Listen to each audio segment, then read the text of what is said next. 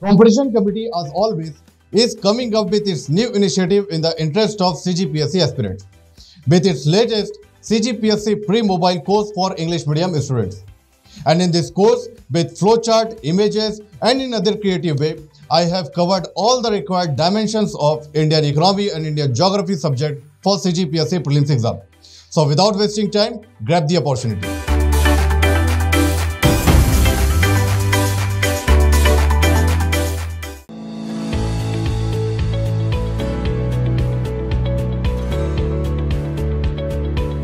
नमस्कार दोस्तों competition community के यूट्यूब चैनल में आपका स्वागत है और मैं हूँ आकाश सिंह।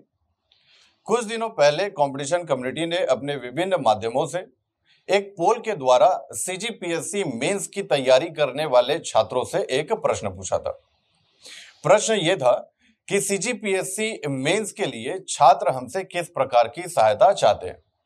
और उस पोल के परिणाम के आधार पर ही हमने विगत वर्षों के मेंस के क्वेश्चन पेपर का एनालिसिस करने का निर्णय लिया है। जो क्वेश्चन पेपर हम यहाँ पर कंसिडर करने वाले हैं ये होगा वर्ष 2016, वर्ष 2017 और वर्ष 2018 से।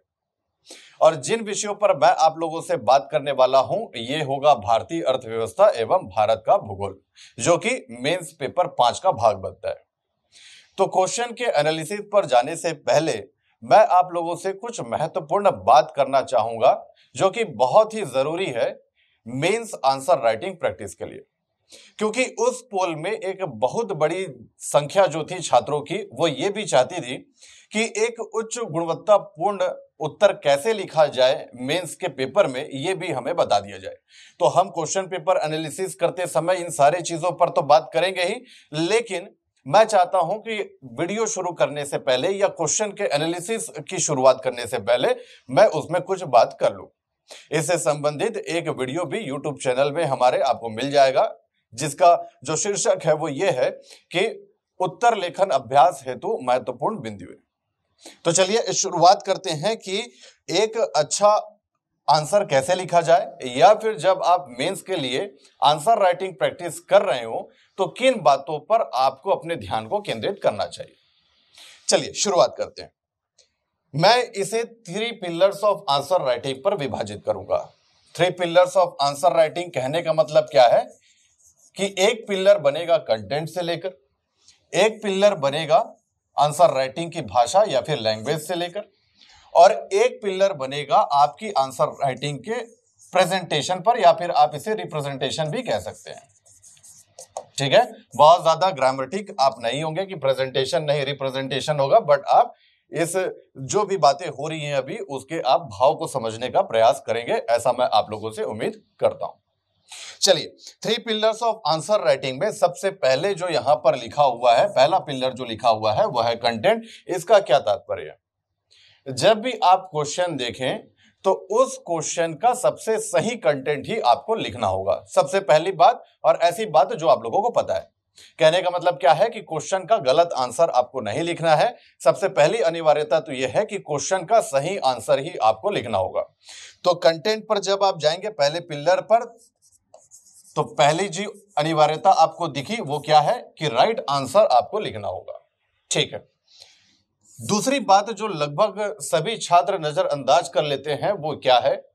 कि कंटेंट टू द पॉइंट होना चाहिए। जो पूछा गया है, वही लिखा जाए। जैसा पूछा गया है, वैसा ही लिखा जाए। क्या होना चाहिए? आपका कंटेंट टू द पॉइंट होना चाहिए। कई बार ऐसा होता है कि हमसे कोई एक प्रश्न पूछा गया है और उस प्रश्न में जो पूछा गया है, वो हमें नहीं पता। या फिर उसके बारे में जानकारी हमें थोड़ी सी कम है, लेकिन उसके बारे में, उससे संबंधित, उससे रिलेटेड हमें बहुत सारी जानकारी पता है। तो हम उस क्वेश्चन पर वो सारी बातें लिखकर आ जाते हैं, जिसके बारे में पूछा ही नहीं गया है। तो हमें अपने आप को स्टेक करना है कहाँ पर? टू द पॉइंट कंटेंट लिखने पर स्टेक करना होगा। जो क्वेश्चन पूछा गया है, उसका सही आंसर लिखना है और टू द पॉइंट लिखना है, जितना पूछा गया है, जैसा पूछा गया है, वैसा और उतना ही आपको लिखना होगा। क्लियर है? अगर आप इस तरह से अपने आंसर राइटिंग की प्रैक्टिस करते जाएँगे तो अंत में आपको, जब आप मेंस में अपियर होंगे, तब आपको बहुत ज़्यादा इससे लाभ मिलेगा। यह मैं आप लोगों को आश्वस्त करता हूँ। ठीक है? चलिए, अब दूसरे pillar of answer writing practice पर हम चलते हैं, और यह संबंधित है भाषा पर। किस प्रकार की भाषा का आप चयन करेंगे जब आप मेंस का उत्तर लिखें तो?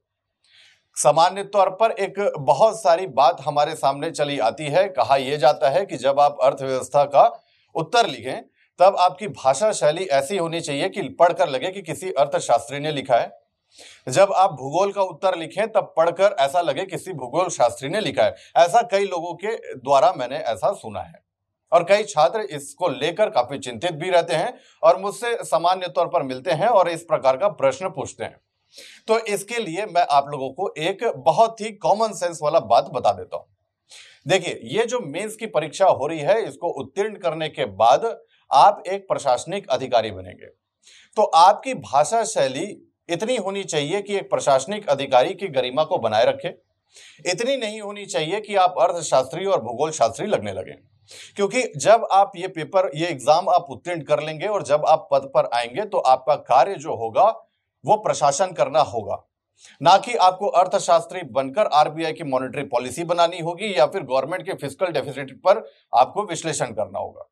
तो इसलिए आप ऐसी सारी बातों से, ऐसे सारे विचारों से अपने आप को थोड़ा सा दूर रखें तो ये ज़्यादा बेहतर होगा। ये मात्र और मात्र आपको भ्रमित कर सकते हैं? क्लियर है? तो आपकी भाषा शैली ऐसी होनी चाहिए कि एक प्रशासनिक अधिकारी के गरिमा को बनाए रखे। ऐसा आप भाषा शैली के पीछे ना दौड़ें कि उससे आप अपने आप को यह सिद्ध कर पाए कि मैं अर्थशास्त्री लेवल का भाषा शैली रखता हूँ या फिर भूगोल शास्त्री लेवल का भाषा शैली रखता हूँ। अब इसके लिए क्या समाधान होगा या फिर किस तरीके से हम इस प्रशासनिक अधिकारी की गरिमा को बनाए रखेंगे? तो जब भी आप उत्तर लिखें तो भाषा का चयन करते समय आप ये ध्यान रखें कि आप भाषा में एक स्टैंडर्ड ज़रूर मेंटेन करके रखेंगे। क्लियर है? लेकिन वह इजी भी होना चाहिए। थोड़ा और इसे मैं समझाऊं अगर आप लोगों को। तो जब आप इकोनॉमी का पेपर लिखें तो ऐसा होना चाहिए कि जो जांचकर्ता आपकी इस इकोनॉमी के पेपर को चेक कर रहा है और अगर उसका एकेडमिक बैकग्राउंड हिस्ट्री है तो भी आपके इकोनॉमी के पेपर को बहुत आसानी से समझ ले। क्लियर है? और जब कोई एक ऐसा व्यक्ति आपके पेपर को चेक कर रहा है, जिसका एकेडमिक बैकग्राउंड इकोनॉमी से रिलेटेड है तो आपके पेपर को पढ़ के उसे ऐसा ना लगे कि आपने क्या किया है। इस पेपर के इस सब्जेक्ट में जो भाषा चाहिए, उसको आपने धूमिल कर दिया है। तो स्टैंडर्ड भी होना चाहिए और इजी टू अंडरस्टैंड भी होना चाहिए। स्टैंडर्ड होना चाहिए क्योंकि उस सब्जेक्ट से आप कनेक्टेड लगे और इजी होनी चाहिए ताकि जो जाँच करता आपकी उस पेपर को चेक कर रहा है, आपको नहीं पता कि उसका एकेडमिक बैकग्राउंड क्या है तो उसे भी आपका पेपर समझ में आना चाहिए। और अगर एकदम ही आसान तरीके से मैं आपको कह दूँ तो एनसीईआरटी के किताबों पर जो भाषा का चयन किया जाता है, उस भाषा को ही आप अप्लाई करेंगे अपने मेंस आंसर पर और अपने मेंस आंसर प्रैक्टिस पर। तो धीरे धीरे धीरे धीरे आपकी जो भाषा शैली है, वो काफ़ी बेहतर हो जाएगी। क्लियर है? चलिए, ये समझ गए। अब हम आते हैं third pillar of answer writing पर। और third pillar of answer writing किससे संबंधित है? प्रस्तुतिकरण से प्रेजेंटेशन से या रिप्रेजेंटेशन से। आप अपनी बात को कितनी खूबसूरती से, कितने अच्छे से लिखते हैं अपने पेपर में यह बहुत ही महत्वपूर्ण है। क्योंकि जब जांचकर्ता आपके पेपर को देखे तो उसे आपका पेपर बोझिल ना लगे हो सकता है कि आपने सारे कंटेंट अच्छे लिखे हो, आपने भाषा का चयन भी अच्छा किया हो, लेकिन आपके पेपर को देखने में वो अट्रैक्शन फील ना हो तो हो, उसका आपको जो परिणाम है, जो स्कोर में जो आपको परिणाम देखने को मिलेगा, वो हो सकता है कि थोड़ा सा गड़बड़ हो जाए। इसलिए आपको क्या करना होगा कि आपको कंटेंट और लैंग्वेज के साथ में प्रेजेंटेशन पर भी विशेष ध्यान देना होगा। कहने का क्या तात्पर्य है? कहने का तात्पर्य यह है कि आप क्वेश्चन को देखने के बाद यह डिसाइड करेंगे कि इस क्वेश्चन को मैं पैराग्राफ पर लिखूं, ठीक है? या फिर मैं पॉइंट पर लिखूं। पॉइंट पर लिखूं कहने का मतलब आप पॉइंट बना दें, बिंदु एक, बिंदु दो, बिंदु तीन और ऐसे लिखे। कई बार इससे भी संबंधित प्रश्न छात्र पूछते हैं, कहते हैं कि, सर मेंस में आंसर जब लिखना हो तो पैराग्राफ में लिखना चाहिए कि हमें पॉइंट पर लिखना चाहिए। देखिए, कोई भी एक आप स्टैंडर्ड बनाकर नहीं चलेंगे। क्वेश्चन पढ़ने के बाद क्वेश्चन डिसाइड करता है कि इसे किस तरह से लिखा जाए। अगर वह प्रश्न ये मांग करता है कि पैराग्राफ पर अगर उत्तर लिख दो तो बहुत अच्छा दिखेगा तो आप पैराग्राफ पर लिखेंगे। अगर क्वेश्चन देखकर लगता है कि इसे पॉइंट पर लिखने पर ज़्यादा लाभ मिलेगा तो पॉइंट पर लिखें। सामान्य तौर पर कारण, समाधान इंपॉर्टेंस ऐसे सारे जो क्वेश्चन होते हैं, उसे अगर आप पॉइंट पर लिखें तो काफ़ी बेहतर होगा। जैसे मान लेते हैं कि आपसे कोई प्रश्न पूछ लिया जाए और कहा जाए कि इसके इंपॉर्टेंस पर आप बात करें तो आप बिंदु अगर डाल देंगे तो जाँच करता सबसे पहले तो यही देखेगा कि अगर 10 पॉइंट लिखे हुए हैं तो इसको 10 तरह के इंपॉर्टेंस इस पर्टिकुलर टॉपिक के पता है। तो एक संख्या उस उसके सामने चली आई और ये संख्या बिल्कुल एक सकारात्मक चित्र आपकी बनाएगी, एक सकारात्मक छवि आपकी बनाएगी जांचकर्ता के सामने। क्लियर है? तो इसलिए क्वेश्चन देखकर आप ये डिसाइड करेंगे कि पैराग्राफ पर लिखना है कि पॉइंट पर लिखना है। पहले से ये सारा माइंडसेट बनाकर आप नहीं चलेंगे। और ये सारी चीज़ें अगर आप अपने आंसर राइटिंग प्रैक्टिस पर फॉलो करते जाएँगे, तब कहीं जाकर ये आप लिख कर पाएँगे अप्लाई कर पाएँगे जब आप मेंस का एग्ज़ाम दे रहे होंगे तो। क्लियर है? चलिए, आगे बढ़ते हैं। पैराग्राफ और पॉइंट के साथ साथ में प्रेजेंटेशन पर आप अंडरलाइन जैसी चीज़ों को भी नजरअंदाज नहीं करेंगे। अगर कोई उत्तर आप लिखते हैं और उस उत्तर पर जो कीवर्ड है, उस कीवर्ड को अगर आप अंडरलाइन कर जाते हैं तो जब जाँच करता आपके पेपर को देखेगा तो अंडरलाइन किए हुए शब्दों को पकड़कर ही वो आपको मार्क्स दे सकता है। उसे पूरा आंसर पढ़ने की ज़रूरत नहीं पड़ेगी।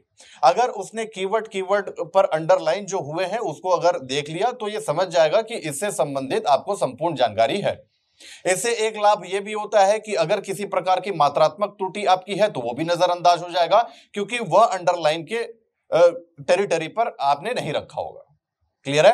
तो इसलिए आप क्या करेंगे, जब भी आप उत्तर लिखें तो उस उत्तर में जो इंपॉर्टेंट कीवर्ड है, उसको भी आप अंडरलाइन कर लें, ताकि आपके पेपर को चेक करना बहुत ही इजी हो जाए जांचकर्ताओं के लिए। क्लियर है? चलिए, आगे बढ़ते हैं। साथ ही साथ, आप अन्य तरीकों का भी इस्तेमाल कर सकते हैं। जैसे, आप एरो डायग्राम बना लें, किसी चीज़ को समझाने के लिए। या फिर किसी चीज़ को समझाने के लिए आप फ्लो चार्ट बना लें। क्लियर है? या फिर किसी चीज़ को समझाने के लिए आपने टेबल बना दिया। या फिर अगर आप ज्योग्राफी का पेपर लिखते हैं तो डायग्राम जैसे चीज़ों को ज़रूर आप वहाँ पर लिखेंगे। Arrow diagram flow chart table ये ये सारी चीज़ें क्या हैं? ये प्रेजेंटेशन का वो तरीका है जिसके माध्यम से बहुत सारे शब्दों के बजाय आप कम शब्दों की सहायता से ही अपनी बात को जांचकर्ताओं के सामने रखवाएँगे बहुत सारे शब्दों को ना लिखकर अगर आप एरो डायग्राम बना बनाकर अगर चीज़ों को समझा ले तो भी बहुत अच्छी बात। अगर आप ज्योग्राफी का पेपर लिखते हैं और उसमें कोई चीज़ अगर मेंशन कर दिए आप डायग्राम से तो आप क्या कहना चाहते हैं अपने वर्ड्स पर, वो आप समझा ले जाएँगे। तो इन सारे तरीकों का इस्तेमाल करके आप अपने प्रस्तुतिकरण को प्रेजेंटेशन को खूबसूरत बनाएँगे, या फिर हम ये कह सकते हैं कि इंटरेस्टिंग बनाएँगे जांचकर्ताओं के लिए, जिससे आपका पेपर चेक करने में उसे मज़ा आए, एक पॉजिटिव एनर्जी वो फील करे, और उस पॉजिटिव एनर्जी का परिणाम आपको अपने बेहतर स्कोर में देखने को मिले।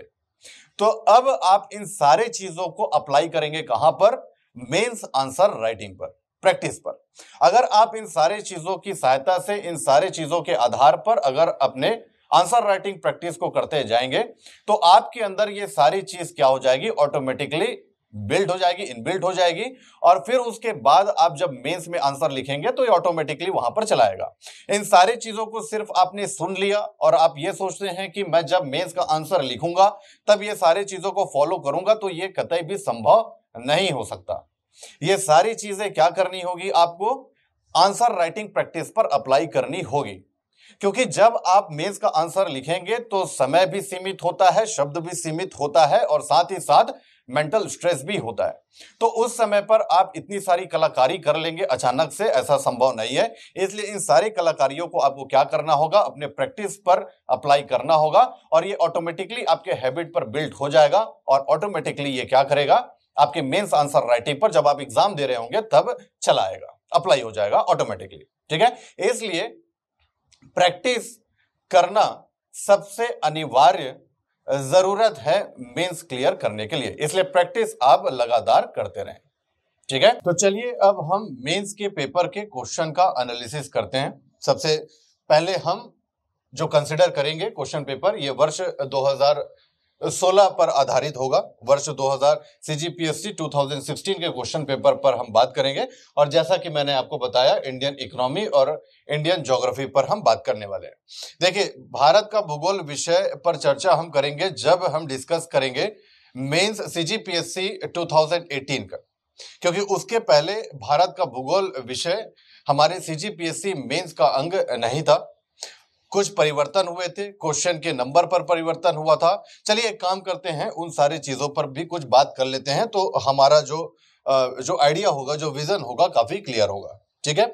हम क्या क्या बात कर लेते हैं कि अभी वर्तमान में जब रिफॉर्म्स हुए, बदलाव हुए, परिवर्तन हुए, उसके बाद अभी वर्तमान में किस तरह से, किस तरह से क्वेश्चन पूछा जाएगा कहने का मतलब क्या है कि क्वेश्चन की संख्या क्या होगी, शब्द सीमाएँ क्या होंगी मार्क्स आपको इसमें कितने मिलेंगे? तो इन सारी चीज़ों पर बात कर लेते हैं क्योंकि ये चेंज हुए हैं। क्लियर है? कुछ सिलेबस में भी परिवर्तन हुआ था, जैसे भारत का भूगोल विषय जुड़ा हुआ था पबैट जुड़ा हुआ था, और एक पूरा का पूरा पेपर सात भी सीजीपीएससी मेंस सिलेबस का एक हिस्सा बन गया था। तो चलिए हम ये समझ लेते हैं पहले कि जब आप क्वेश्चन पेपर उठाएँ तो क्वेश्चन पेपर पर जो आपको विभिन्न सेक्शन दिखते हैं, विभिन्न पार्ट दिखते हैं, उन सबका क्या अर्थ है? देखिए, हमारा जो सीजीपीएससी मेन सिलेबस है, ये कुल सात पेपर से मिलकर बना हुआ है। ठीक है? हर एक पेपर पर आपको तीन पार्ट दिखेंगे और तीन पार्ट पर आपको अलग अलग विषय दिखेंगे। लेकिन ये जो तीन पार्ट वाला जो मामला है ये आपको पेपर वन और पेपर टू पर नहीं देखने को मिलेगा। क्यों? क्योंकि ये निबंध और भाषा पर आधारित पेपर होगा। उसके बाद पेपर थ्री से पेपर सात तक आपको जो पेपर देखने को मिलेंगे, इसमें जो विषय होंगे, वो तीन पार्ट पर रखे गए होंगे। Part one part two part three तो इन विभिन्न पार्ट पर अलग अलग क्वेश्चन की संख्या और अलग अलग स्कोर अलॉट किए गए जैसे कि सामान्य तौर पर पार्ट वन से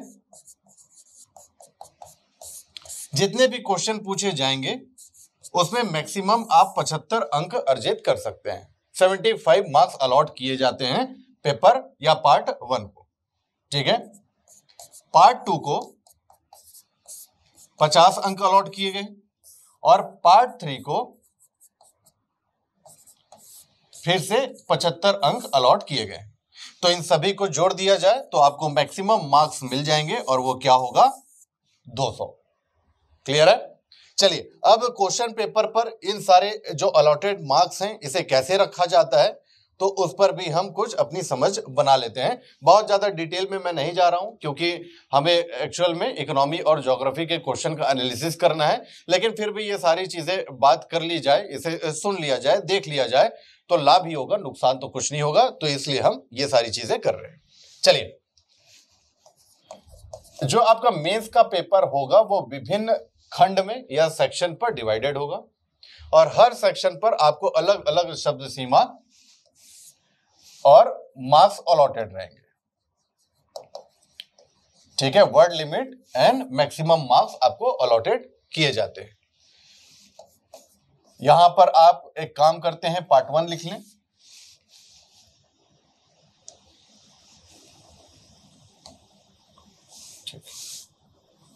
उसके बाद एक कॉलम बनाकर पार्ट टू लिख लेते हैं। उसके बाद एक कॉलम बनाकर पार्ट थ्री लिख लेते हैं। और उसके बाद यहाँ पर टोटल नंबर ऑफ़ क्वेश्चन लिख देते हैं। ठीक है? चलिए बात करते हैं अब। सबसे पहले सेक्शन पर, जो सबसे पहला सेक्शन आपको देखने को मिलेगा, इसमें जो क्वेश्चन होंगे, उसमें जो वर्ड लिमिट आपको अलॉट किया जाता है, वह तीस शब्द है, और जो मैक्सिमम मार्क्स आपको अलॉट किया जाएगा, वह दो होगा। ठीक है? पार्ट वन से पार्ट वन में जो भी आपके विषय रखे गए हैं, उससे एट क्वेश्चन लिया जाएगा पार्ट टू से सिक्स क्वेश्चन लिया जाएगा, और पार्ट थ्री से फिर से एट क्वेश्चन लिया जाएगा। और इस प्रकार से दो नंबर वाले क्वेश्चन की संख्या कितनी हो जाएगी? लगभग 22 और जो टोटल मार्क्स इस सेक्शन पर आपको मिलेगा, वो कितना मिलेगा? 44 मार्क्स बाईस गुणित दो बन जाता है चौवालीस। ठीक है? फिर उसके बाद सेक्शन टू मिलेगा। इसमें जो वर्ड लिमिट आपको दिया जाएगा, वह होगा सिक्सटी वर्ड का, और जो मैक्सिमम मार्क्स आपको अलॉट किए जाएँगे, वो होंगे फोर मार्क्स ठीक है? पार्ट वन से पाँच क्वेश्चन लिए जाएँगे, पार्ट टू से तीन क्वेश्चन लिए जाएँगे और पार्ट थ्री से पाँच क्वेश्चन लिए जाएँगे। इस प्रकार से सेक्शन फोर पर आपको कुल तेरह प्रश्न दिखेंगे और जो मैक्सिमम मार्क्स आपको इस सेक्शन पर देखने को मिलेगा, वो दिखेगा फिफ्टी टू मार्क्स। बावन नंबर दिखेंगे, तेरह गुणित चार आपको मिल गया बावन। ठीक है? फिर आएगा सेक्शन थ्री। इस सेक्शन थ्री पर आपको जो मैक्सिमम वर्ड अलॉट किया जाएगा, वह होगा हंड्रेड। और जो मैक्सिमम मार्क्स अलॉट किए जाएँगे होंगे आठ। सेक्स पार्ट वन से तीन क्वेश्चन लिया जाएगा पार्ट टू से दो और पार्ट थ्री से फिर से तीन। और इस प्रकार से जो टोटल नंबर ऑफ़ क्वेश्चन इस सेक्शन पर बनेंगे, वो कितने होंगे? आठ। और जो मैक्सिमम मार्क्स यहाँ पर बन रहे हैं, वो कितने होंगे? सिक्सटी फोर आठ गुणित आठ, चौसठ। ठीक है? फिर सेक्शन फोर होगा। सेक्शन फोर पर आपको जो मैक्सिमम वर्ड लिखना होगा, वो होगा 125 और इसमें जो आपको मैक्सिमम मार्क्स अलॉट किए जाएँगे, वो होंगे 10 और इसमें से आपको सिर्फ़ पार्ट वन पार्ट टू से ही क्वेश्चन पूछा जाएगा। सेक्शन फोर में जो क्वेश्चन होगा, वो पार्ट टू में लिखे हुए विषय पर ही आधारित होगा। ठीक है? तो इस प्रकार से सेक्शन फोर पर आपको एक ही क्वेश्चन दिखेगा और जो मार्क्स देखने को मिलेगा, वो कितना होगा? दस। क्लियर है? चलिए, फिर उसके बाद अंतिम सेक्शन आता है सेक्शन फाइव सेक्शन फाइव पर जो वर्ड लिमिट आपको दी गई है, वो है 175 और जो मैक्सिमम मार्क अलॉट किया गया है, वो है 15 इसमें पार्ट वन से एक क्वेश्चन पूछा जाएगा और पार्ट थ्री से एक क्वेश्चन पूछा जाएगा पार्ट टू से क्वेश्चन नहीं पूछा जाएगा. इस प्रकार से टोटल नंबर ऑफ़ क्वेश्चन कितने हो जाएँगे? दो. और जो मैक्सिमम मार्क आप यहाँ पर अर्न कर सकते हैं, वो कितना हो जाएगा? तीस। ठीक है? तो इस प्रकार से अगर आप टोटल मार्क्स अगर देखें तो 44 प्लस 52 प्लस 64 प्लस 10 प्लस 30 बन जाता है 200 अंक। तो 200 नंबर का आपका एग्ज़ाम होगा, जो पेपर होगा, सभी सातों पेपर लेकिन ये जो आपको मैंने पूरी फ्रेमिंग समझाई, ये पेपर थ्री से लेकर पेपर सेवन में ही देखने को मिलेगा। शुरू के दो पेपर में देखने को नहीं मिलेगा क्योंकि वो भाषा और निबंध पर आधारित है। उसका अलग फ्रेमिंग है, अलग पार्ट है तो उस पर मैं नहीं जाना चाहूँगा। उस विषय पर जो भी फैकल्टी आपसे बात करेंगे, वो इन सारी चीज़ों को बता देंगे क्लियर है? चलिए, अभी वर्तमान पर इसी तरीके का पैटर्न आपको देखने को मिलेगा। तो पेपर पाँच पर आपको भारतीय अर्थव्यवस्था और भारत का भूगोल देखने को मिलता है।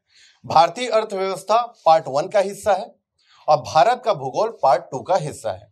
मतलब भारत के भूगोल पर 50 मार्क्स अलॉट किए गए हैं और भारतीय अर्थव्यवस्था के साथ सीजी की इकोनॉमी को जोड़ देने के बाद 75 मार्क्स अलॉट किए गए हैं। मतलब कि अगर आप ज्योग्राफी पर बात करें तो जो मैक्सिमम वर्ड लिमिट वाला क्वेश्चन आपके सामने आ सकता है ज्योग्राफी से रिलेटेड वो आ सकता है 125 शब्दों पर 10 नंबर के साथ। लेकिन भारतीय अर्थव्यवस्था पर 175 वर्ड लिमिट के साथ क्वेश्चन आपके सामने आ सकता है। क्योंकि पार्ट वन और पार्ट थ्री से ये दो क्वेश्चन पूछे जाएँगे, ऐसा इस फ्रेमिंग में बताया गया है। क्लियर है? चलिए, अब हम पर्टिकुलरली आ जाते हैं किस पर? इतनी सारी चर्चा करने के बाद क्वेश्चन के एनालिसिस पर, उनके आंसर के डिस्क्रिप्शन पर। 2016 का ये क्वेश्चन पेपर है और सबसे पहले सेक्शन पर हम बात करते हैं। तो अब आप लोगों को पता है कि पहले सेक्शन पर जो क्वेश्चन होंगे, उसमें मैक्सिमम मार्क्स होंगे टू और मैक्सिमम वर्ड लिमिट होगी थर्टी ठीक है? सबसे पहला प्रश्न पूछा गया, राष्ट्रीय आय से आप क्या समझते हैं? अब आंसर राइटिंग प्रैक्टिस के तर्ज पर मैंने आपको three pillars of answer writing बताए हैं। तो क्वेश्चन देखने के बाद सबसे पहले आपको क्या करना है? सही कंटेंट का चुनाव करना है। एक अच्छी भाषा शैली पकड़नी है और एक बढ़िया सा प्रेजेंटेशन करना है। ये तीनों चीज़ों पर बहुत ज़्यादा कलाकारी आप सेक्शन वन वाले क्वेश्चन पर नहीं कर पाएँगे, क्योंकि वर्ड लिमिट बहुत ही कम होती है और स्पेस भी बहुत कम होता है, मात्र तीन लाइन हमें दी गई होती है। ठीक है? लेकिन जब आप नेशनल इनकम ऐसा देखें तो एक बहुत बड़ा जो वर्ग है, वो जीडीपी या जीएनपी ये सारी चीज़ें लिखकर चला आता है। हालाँकि जीडीपी भी नेशनल इनकम से रिलेटेड ही कोई दृष्टिकोण है, लेकिन यहाँ पर जीडीपी या जीएनपी के बारे में नहीं पूछा गया है। आपसे पूछा गया है कि राष्ट्रीय आय से आप क्या समझते हैं? तो देखिए, कई बार मैंने अलग अलग प्रोग्राम में अलग अलग कोर्सेस में नेशनल इनकम डिस्कस करते हुए ये आप लोगों से बताया है कि नेशनल इनकम क्या है। तो नेशनल इनकम या राष्ट्रीय आय किसी भी राष्ट्र के नागरिकों की आय से संबंधित जानकारी है या संबंधित चर्चा है। ठीक है? अब ये जो राष्ट्रीय आय नागरिकों से संबंधित जो बात होती है, ये ज़रूर किसके आधार पर होती है? तो उस अर्थव्यवस्था पर किसी निश्चित समय अवधि पर जितने भी अंतिम वस्तुएँ एवं सेवाओं का उत्पादन हुआ है, उसके मौद्रिक मूल्य की गणना से की जाती है। ठीक है? तो सबसे पहले तो आप ये बता देंगे कि नागरिकों की आय से संबंधित चर्चा है अब आप प्रेजेंटेशन पर आएँगे। मैंने three pillars of answer writing कहा था कंटेंट तो आपने चुन लिया और ये जिस तरीके की भाषा शैली मैंने पकड़ी, उस भाषा शैली के आधार पर आपने ये उत्तर लिख दिया। अब आपको प्रेजेंटेशन पर क्या करना होगा तो दो नंबर वाले क्वेश्चन पर प्रेजेंटेशन पर आप अंडरलाइन के अलावा बहुत ज़्यादा कुछ नहीं कर सकते। तो अंडरलाइन आप कर देंगे कि राष्ट्रीय आय तो नागरिकों की आय तो नागरिकों की आय वाले पॉइंट को, ये कीवर्ड है, ये आत्मा है इस क्वेश्चन का तो इसे आप अंडरलाइन कर देंगे। ठीक है?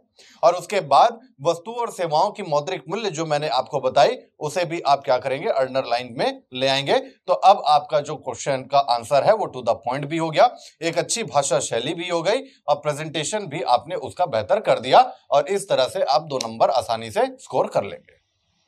ठीक है? चलिए, आगे बढ़ते हैं। जनांकिकी लाभांश समझाइए। What is demographic dividend explain ठीक है? डेमोग्राफिक डिविडेंड क्या होता है? तो इस पर भी हमने बात की थी तो पहले मैं इसमें एक संक्षिप्त चर्चा कर लेता हूँ। देखिए डेमोग्राफिक डिविडेंड किसी भी देश का क्या होता है? तो जब किसी देश की जो कार्यबल की संख्या है वर्किंग एज पॉपुलेशन है, ठीक है? अगर इसका अनुपात कुल जनसंख्या में अधिक हो टोटल पॉपुलेशन में वर्किंग एज वाली पॉपुलेशन सबसे ज़्यादा हो तो ये उस देश का क्या होता है? लाभ होता है या जन के अंकों का लाभ होता है?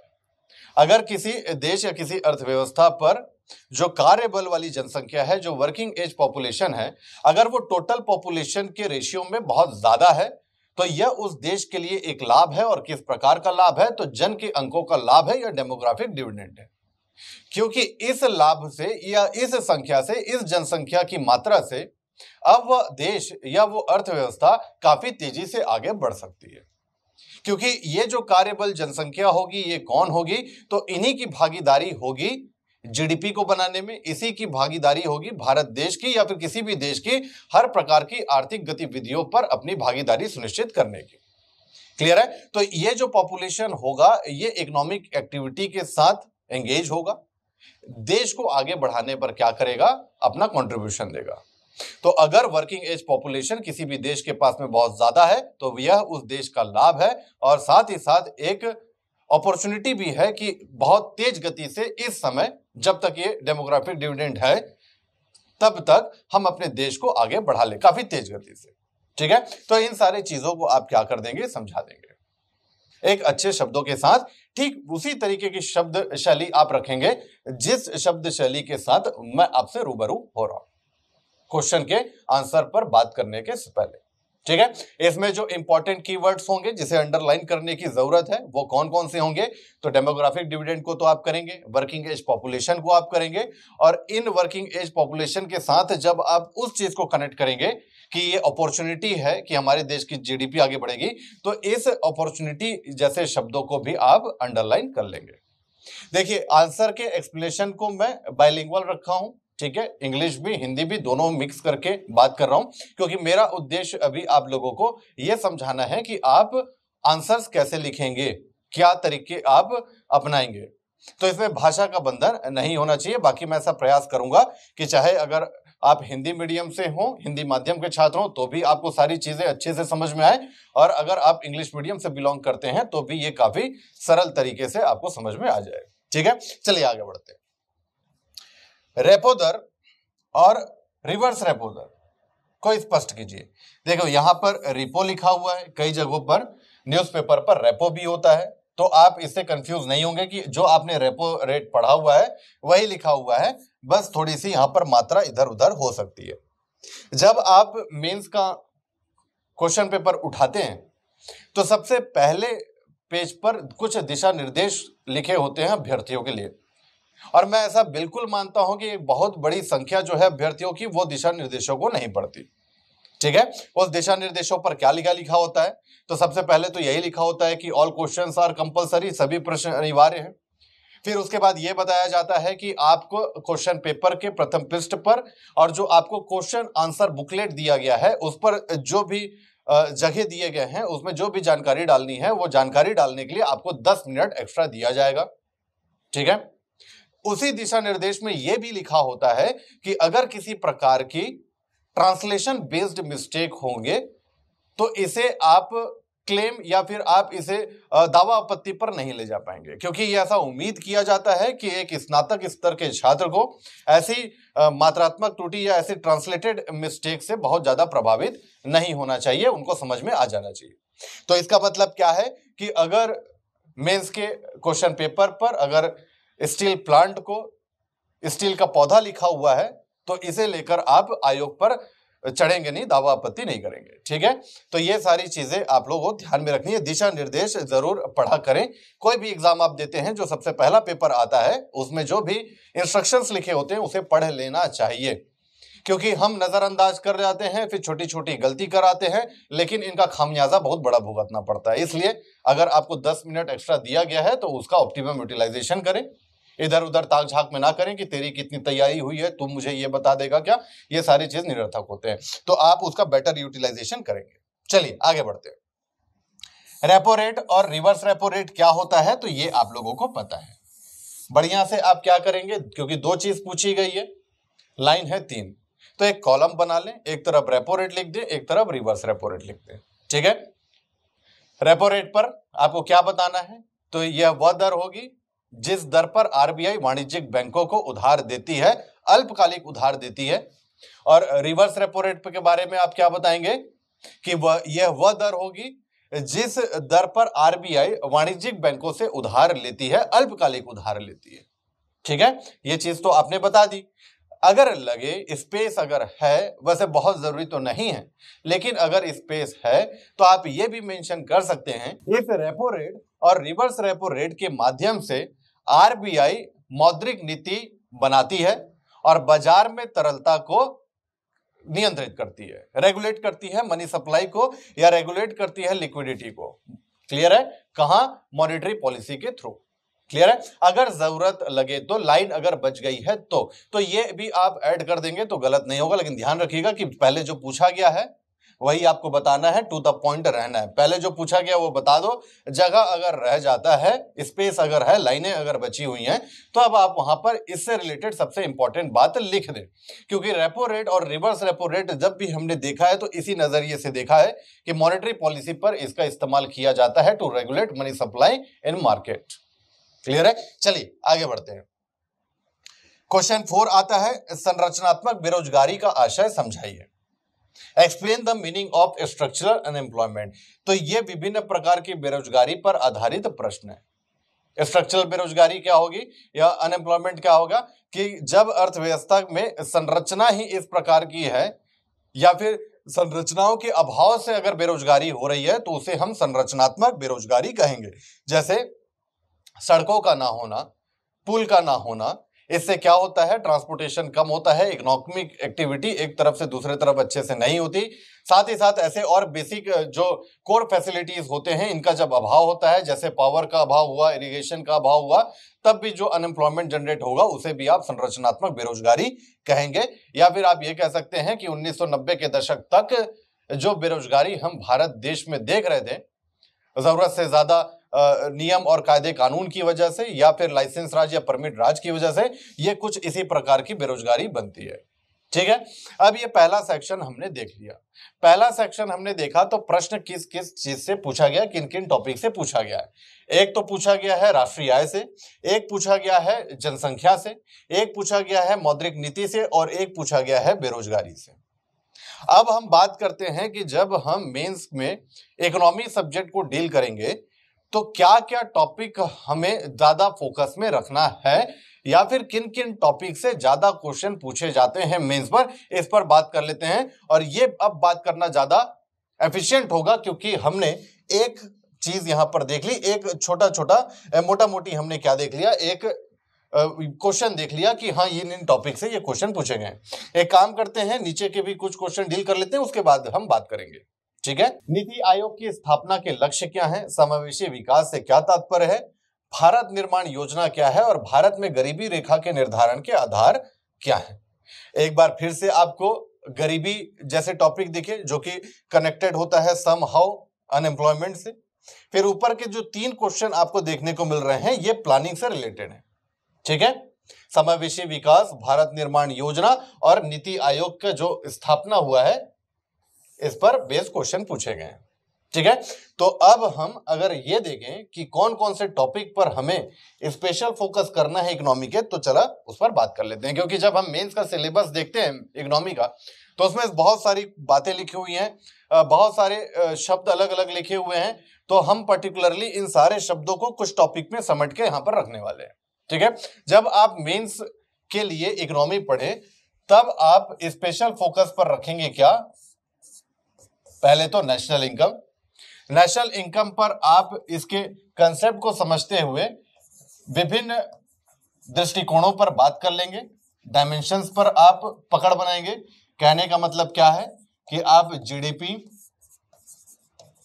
GNP NNP per capital income को पढ़ने के बाद, फिर उसके बाद आप जब ये सारी चीज़ें पढ़ लेंगे तब इन विभिन्न डायमेंशंस के साथ में आप क्या करेंगे?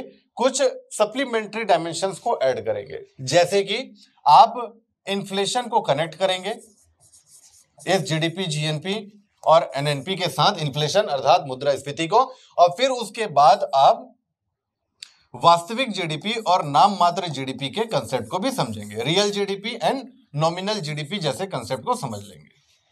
ठीक है? ये उसी से रिलेटेड है, आप ये भी समझ सकते हैं, स्थिर भाव एवं प्रचलित भाव जैसे कंसेप्ट से रिलेटेड है, यही वास्तविक जीडीपी और नाम मात्र जीडीपी जब आप इन्फ्लेशन से कनेक्ट करके राष्ट्रीय आय को पढ़ लेंगे, तब आप क्या कनेक्ट करेंगे? तब आप सरकार की राजकोषीय नीति को इस नेशनल इनकम के साथ में कनेक्ट करेंगे फ़िज़िकल पॉलिसी को कनेक्ट करेंगे। क्लियर है? और उसके बाद आप क्या समझ पाएँगे? तो कारक लागत और बाज़ार लागत जैसे कंसेप्ट को समझ पाएँगे। ये सारी जो चीज़ें मैं आपको बता रहा हूँ, ये इस पर आधारित प्रश्न पूछे जा चुके हैं ऑलरेडी पैटर्न पर बेस्ड है ये। जीडीपी कारक लागत क्या है, ये समझाइए। तो ये सारी चीज़ें आपसे क्वेश्चन के रूप में पूछी जा चुकी है ऑलरेडी उसी के आधार पर मैं आप लोगों को ये बता रहा हूँ कि किन किन चीज़ों को आपको तैयार कर लेना है, अच्छे से। ठीक है? जब आप राजकोषीय नीति के साथ इन सारी चीज़ों को आप कनेक्ट कर लेंगे, तब आप इस राष्ट्रीय आय के मापन से संबंधित कुछ बात कर लेंगे। ठीक है? मापन से संबंधित तो कहने का क्या तात्पर्य है कि राष्ट्रीय आय के आकलन की आय विधि, राष्ट्रीय आय के आकलन की व्यय विधि या एक्सपेंडिचर मेथड और राष्ट्रीय आय की मूल्यवर्धन विधि या फिर आप वैल्यू एडिशन मेथड भी इसे कह सकते हैं। तो इन तीन विधियों के बारे में आप समझ लेंगे कि ये तीन विधि है क्या। सबसे इंपॉर्टेंट इसमें वह विधि है, उस पर आप अच्छा कमांड अपना बना लेंगे क्वेश्चन पूछा गया है। C plus I plus G plus X minus M ऐसा आपने इक्वेशन देखा होगा। तो इस पर बेस्ड क्वेश्चन पूछे जा चुके हैं। तो इस तरह से आप क्या करेंगे? सबसे पहला इंपॉर्टेंट टॉपिक नेशनल इनकम को कवर कर लेंगे। अगर आपने नेशनल इनकम पर ये सारे टॉपिक्स कवर कर लिए हैं तो ये मानकर चलिए कि जितने भी क्वेश्चन आएँगे, उसमें से 80 टू 90 परसेंट क्वेश्चन इन्हीं सारे टॉपिक पर ही आधारित होंगे। नेशनल इनकम टॉपिक के बाद, जो अगला इंपॉर्टेंट टॉपिक आप तैयार करेंगे इकोनॉमी के लिए, वह होगा राजकोषीय नीति। सरकार की आय एवं व्यय से संबंधित नीति को राजकोषीय नीति कहा जाता है। ठीक है? मुख्य रूप से आप इसमें क्या क्या डील करेंगे? क्या क्या तैयार करेंगे? जिस पर आधारित क्वेश्चन पूछे जाते हैं। तो सबसे पहले तो राजकोषीय नीति है क्या? ये, इसका जो डेफिनेशन है, इसका जो कंसेप्ट है, उसे आप तैयार करेंगे। उसके बाद आप बजट के घटक पर अपनी समझ विकसित करेंगे। बजट के घटक, अगर मैं कह रहा हूँ, इसका क्या तात्पर्य है? तो सरकार के राजस्व खाते एवं सरकार के पूंजीगत खाते में जितने भी कंपोनेंट होते हैं, उस पर आप अपनी समझ बनाएँगे। राजस्व खाते में भी प्राप्ति और व्यय होंगे और ठीक इसी प्रकार से पूंजीगत खाते में भी प्राप्तियाँ एवं व्यय होंगे। राजस्व खाते का प्राप्ति पूंजीगत खाते के प्राप्तियों से किस प्रकार से भिन्न है, ये आप जान लेंगे। पूंजीगत खाते का व्यय, राजस्व खाते के व्यय से किस प्रकार से अलग है, भिन्न है, ये आप समझ लेंगे। फिर उसके बाद इन्हीं, जो कंपोनेंट पर आप नज़र डालेंगे, इसी पर आधारित क्वेश्चन पूछा जाता है। जैसे कि अगर आप राजस्व खाते के राजस्व प्राप्ति पर सबसे इंपॉर्टेंट कंपोनेंट दिखता है, वो क्या है? कर। तो कर से लेकर कई बार क्वेश्चन पूछे गए हैं। ठीक है? कर क्या है? या फिर कर लगाने का उद्देश्य क्या होता है? एक अच्छी कर व्यवस्था क्या है? इस तरीके के कर क्वेश्चन पूछे गए हैं टैक्स से रिलेटेड कर से रिलेटेड तो टैक्स पर आप अपनी समझ बना लेंगे। प्रत्यक्ष कर, अप्रत्यक्ष कर में अंतर क्या होता है? और ठीक इसी प्रकार से लेफर कर को समझाइए तो ये सारी चीज़ आप तैयार कर लेंगे। ठीक है? तो जब आप ये बजट के घटक को समझ लेंगे तो आप किसे पढ़ेंगे? तो आप विभिन्न प्रकार के घाटों को पढ़ेंगे। जैसे राजकोषीय घाटा अगर इसमें अलग अलग प्रकार के घाटे देख लिए जाए तो राजकोषीय घाटा या physical deficit primary deficit revenue deficit और इफ़ेक्टिव रेवेन्यू डेफिसिट तो ये अलग अलग प्रकार के घाटे क्या हैं? इनके डेफिनेशन क्या है? इनके महत्व क्या है? या फिर ये अलग अलग प्रकार के घाटे सरकार की राजकोषीय नीति के किस प्रकार के छवि को दिखाता है या किस प्रकार का ये रिपोर्ट कार्ड शो करता है गवर्नमेंट की फ़िज़िकल पॉलिसी का, इससे रिलेटेड क्वेश्चन पूछे जाते हैं। तो घाटों के बारे में आप पढ़ लेंगे। ठीक है? सरकार के व्यय पर अगर आप जाएँगे तो सरकार के राजस्व व्यय पर तो आप समझ बनाएँगे। साथ ही साथ सरकार के ऋण पर आप अपनी समझ बनाएँगे क्योंकि सरकार के आय का एक हिस्सा ऋण भी होता है। तो जब सरकार ऋण लेती है तो उसका क्या प्रभाव पड़ता है? सरकार किस प्रकार से ऋण लेती है? इन सारे ऋण से रिलेटेड भी क्वेश्चन पूछे गए हैं तो उस पर भी आप अपनी समझ बनाएँगे। ठीक है? तो इस तरह से आप राजकोषीय नीति के सारे टॉपिक को कवर करेंगे। हालाँकि विभिन्न कोर्स में मैंने ये सारी चीज़ों को डील किया हुआ है। फिर उसके बाद राजकोषीय नीति को कवर करने के बाद आप चले आएँगे कहाँ पर? मुद्रा स्फीति या फिर इन्फ्लेशन वाले टॉपिक पर। ठीक है? इसमें आप क्या पढ़ेंगे? तो मुद्रा स्फीति के विभिन्न प्रकार पर पर आप अपनी समझ बनाएँगे। अलग अलग प्रकार के मुद्रा स्फीति, जैसे कि लागत जन या मांग जन। ठीक है? साथ ही साथ अलग अलग दरों के आधार पर जो मुद्रा स्फीति होते हैं, उस पर आप अपनी समझ बनाएँगे। जैसे कि वॉकिंग इन्फ्लेशन क्रिपिंग इन्फ्लेशन ठीक है? तो दो दो नंबर के क्वेश्चन यहाँ से पूछे जाते हैं। तो इस पर आप अपनी समझ बना लेंगे। उसके बाद आप मुद्रा स्फीति के अर्थव्यवस्था के विभिन्न घटकों पर क्या प्रभाव पड़ते हैं, उस पर आप अपनी समझ बनाएँगे। कि मुद्रा स्फीति की वजह से देनदार को या फिर लेनदार को क्या प्रभाव पड़ता है, अर्थव्यवस्था में उत्पादन को क्या प्रभाव पड़ता है, रोज़गार में क्या प्रभाव पड़ता है तो सरकार के जो टैक्स कलेक्शन होते हैं, उसमें क्या प्रभाव पड़ता है। ठीक है? तो इन सारे चीज़ों पर आप मुद्रा स्फीति के क्या प्रभाव पड़ते हैं, इसमें अपनी समझ बना लेंगे। फिर ये समझ बनाने के बाद आप कहाँ पहुँचेंगे? तो मुद्रा स्फीति के मापन पर आप पहुँचेंगे। और मापन पर जब आप पहुँचेंगे, तब आप सीपीआई और डब्ल्यूपीआई पर अपनी समझ बनाएँगे, क्योंकि इस पर बेस भी क्वेश्चन पूछे गए हैं। कि सीपीआई का क्या मतलब है डब्ल्यूपीआई का क्या मतलब है, इन दोनों के अंतर पर बेस भी क्वेश्चन पूछे गए हैं तो इस पर भी आप अपनी समझ बनाएँगे। फिर ये सारी चीज़ जब आप पढ़ लेंगे तब आप कहाँ पहुँचेंगे? तो मुद्रा स्फीति के नियंत्रण पर, और मुद्रा स्फीति के नियंत्रण कहने का तात्पर्य क्या है? तो मौद्रिक नीति पर आप पहुँचेंगे। तो मौद्रिक नीति पर आपको repo rate, reverse repo rate C R R S L R ये सारी चीज़ें दिखती हैं। तो उन सारी चीज़ों को आप पढ़ लेंगे, बहुत इंपॉर्टेंट है, उस पर बेस्ड क्वेश्चन पूछे जाते हैं। अब पूछे गए भी हैं, अभी हमने देखा कि रेपो रेट और रिवर्स रेपो रेट से आप क्या समझते हैं, ये बताएँ। ठीक है? तो इस तरह से मुद्रा स्फीति वाले पार्ट को आप क्या करेंगे? कवर करेंगे। उसके बाद जो अगला इंपॉर्टेंट पार्ट आप इकोनॉमी पर डील करेंगे, ये आधारित होगा किस पर? तो ये आधारित होगा बैंकिंग पर। लेकिन बहुत ज़्यादा आपको बैंक से रिलेटेड बातें नहीं ध्यान में रखनी है। बैंक से रिलेटेड आपको रिफॉर्म्स पर अपनी समझ बनानी है, जो बैंकिंग क्षेत्र पर सुधार कार्यक्रम चलाए गए खासकर से उन्नीस सौ इक्यानवे के, जो नरसिम्हन कमेटी, आप देखते हैं नरसिम्हन कमेटी एक, नरसिम्हन कमेटी दो, इसे स्पेशली मेंशन किया गया है मेंस के सिलेबस पर तो इस पर आप अपनी समझ बनाएँगे। और उसके बाद अभी वर्तमान में जो भी घटनाक्रम घटित हो रहे हैं बैंकिंग क्षेत्र से संबंधित, उस पर आप समझ बनाएँगे। उदाहरण के तौर पर एनपीए या फिर जो भी बैंकिंग सेक्टर पर प्रॉब्लम अभी देखी जा रही है उस पर। क्लियर है? तो इस तरह से बैंकिंग सेक्टर आप कवर करेंगे। उसके बाद मेंस पर क्वेश्चन के बेस पर अगला इंपॉर्टेंट टॉपिक क्या दिखता है? तो उसके बाद अगला जो इंपॉर्टेंट टॉपिक दिखता है, वह दिखता है प्लानिंग से रिलेटेड योजनाओं से रिलेटेड ठीक है? अलग अलग प्रकार के योजना क्या होते हैं? इस पर बेस क्वेश्चन पूछा गया है। जैसे इंपेरेटिव प्लानिंग क्या होता है इंडिकेटिव प्लानिंग क्या होता है फाइनेंशियल प्लानिंग क्या होता है फ़िज़िकल प्लानिंग क्या होता है? तो इस पर बेस क्वेश्चन पूछे गए हैं तो डिफरेंट टाइप्स ऑफ़ प्लानिंग पर आप अपनी नज़र अपनी समझ बनाएँगे। और उसके बाद आप पंचवर्षीय योजनाओं पर एक विश्लेषणात्मक अपनी समझ विकसित करेंगे, क्योंकि ऐसा क्वेश्चन पूछा जा सकता है कि जो भी फाइव ईयर प्लान चलाए गए, उसका आज अभी वर्तमान में हमें क्या प्रभाव भारतीय अर्थव्यवस्था पर देखने को मिलता है। ठीक है? और उसके बाद आप इसी प्लानिंग से कनेक्ट करते हुए नीति आयोग के बारे में अपनी समझ बना लेंगे। ठीक है?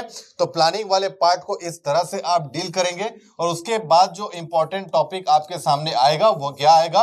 गरीबी से रिलेटेड पॉवर्टी से रिलेटेड गरीबी क्या है? ये आपसे पूछा गया है। गरीबी का मापन किस प्रकार से किया जाता है, ये पूछा गया है। अलग अलग प्रकार के गरीबी क्या होते हैं, ये पूछा गया है और कई बार पूछा गया है गरीबी रेखा पर आधारित प्रश्न।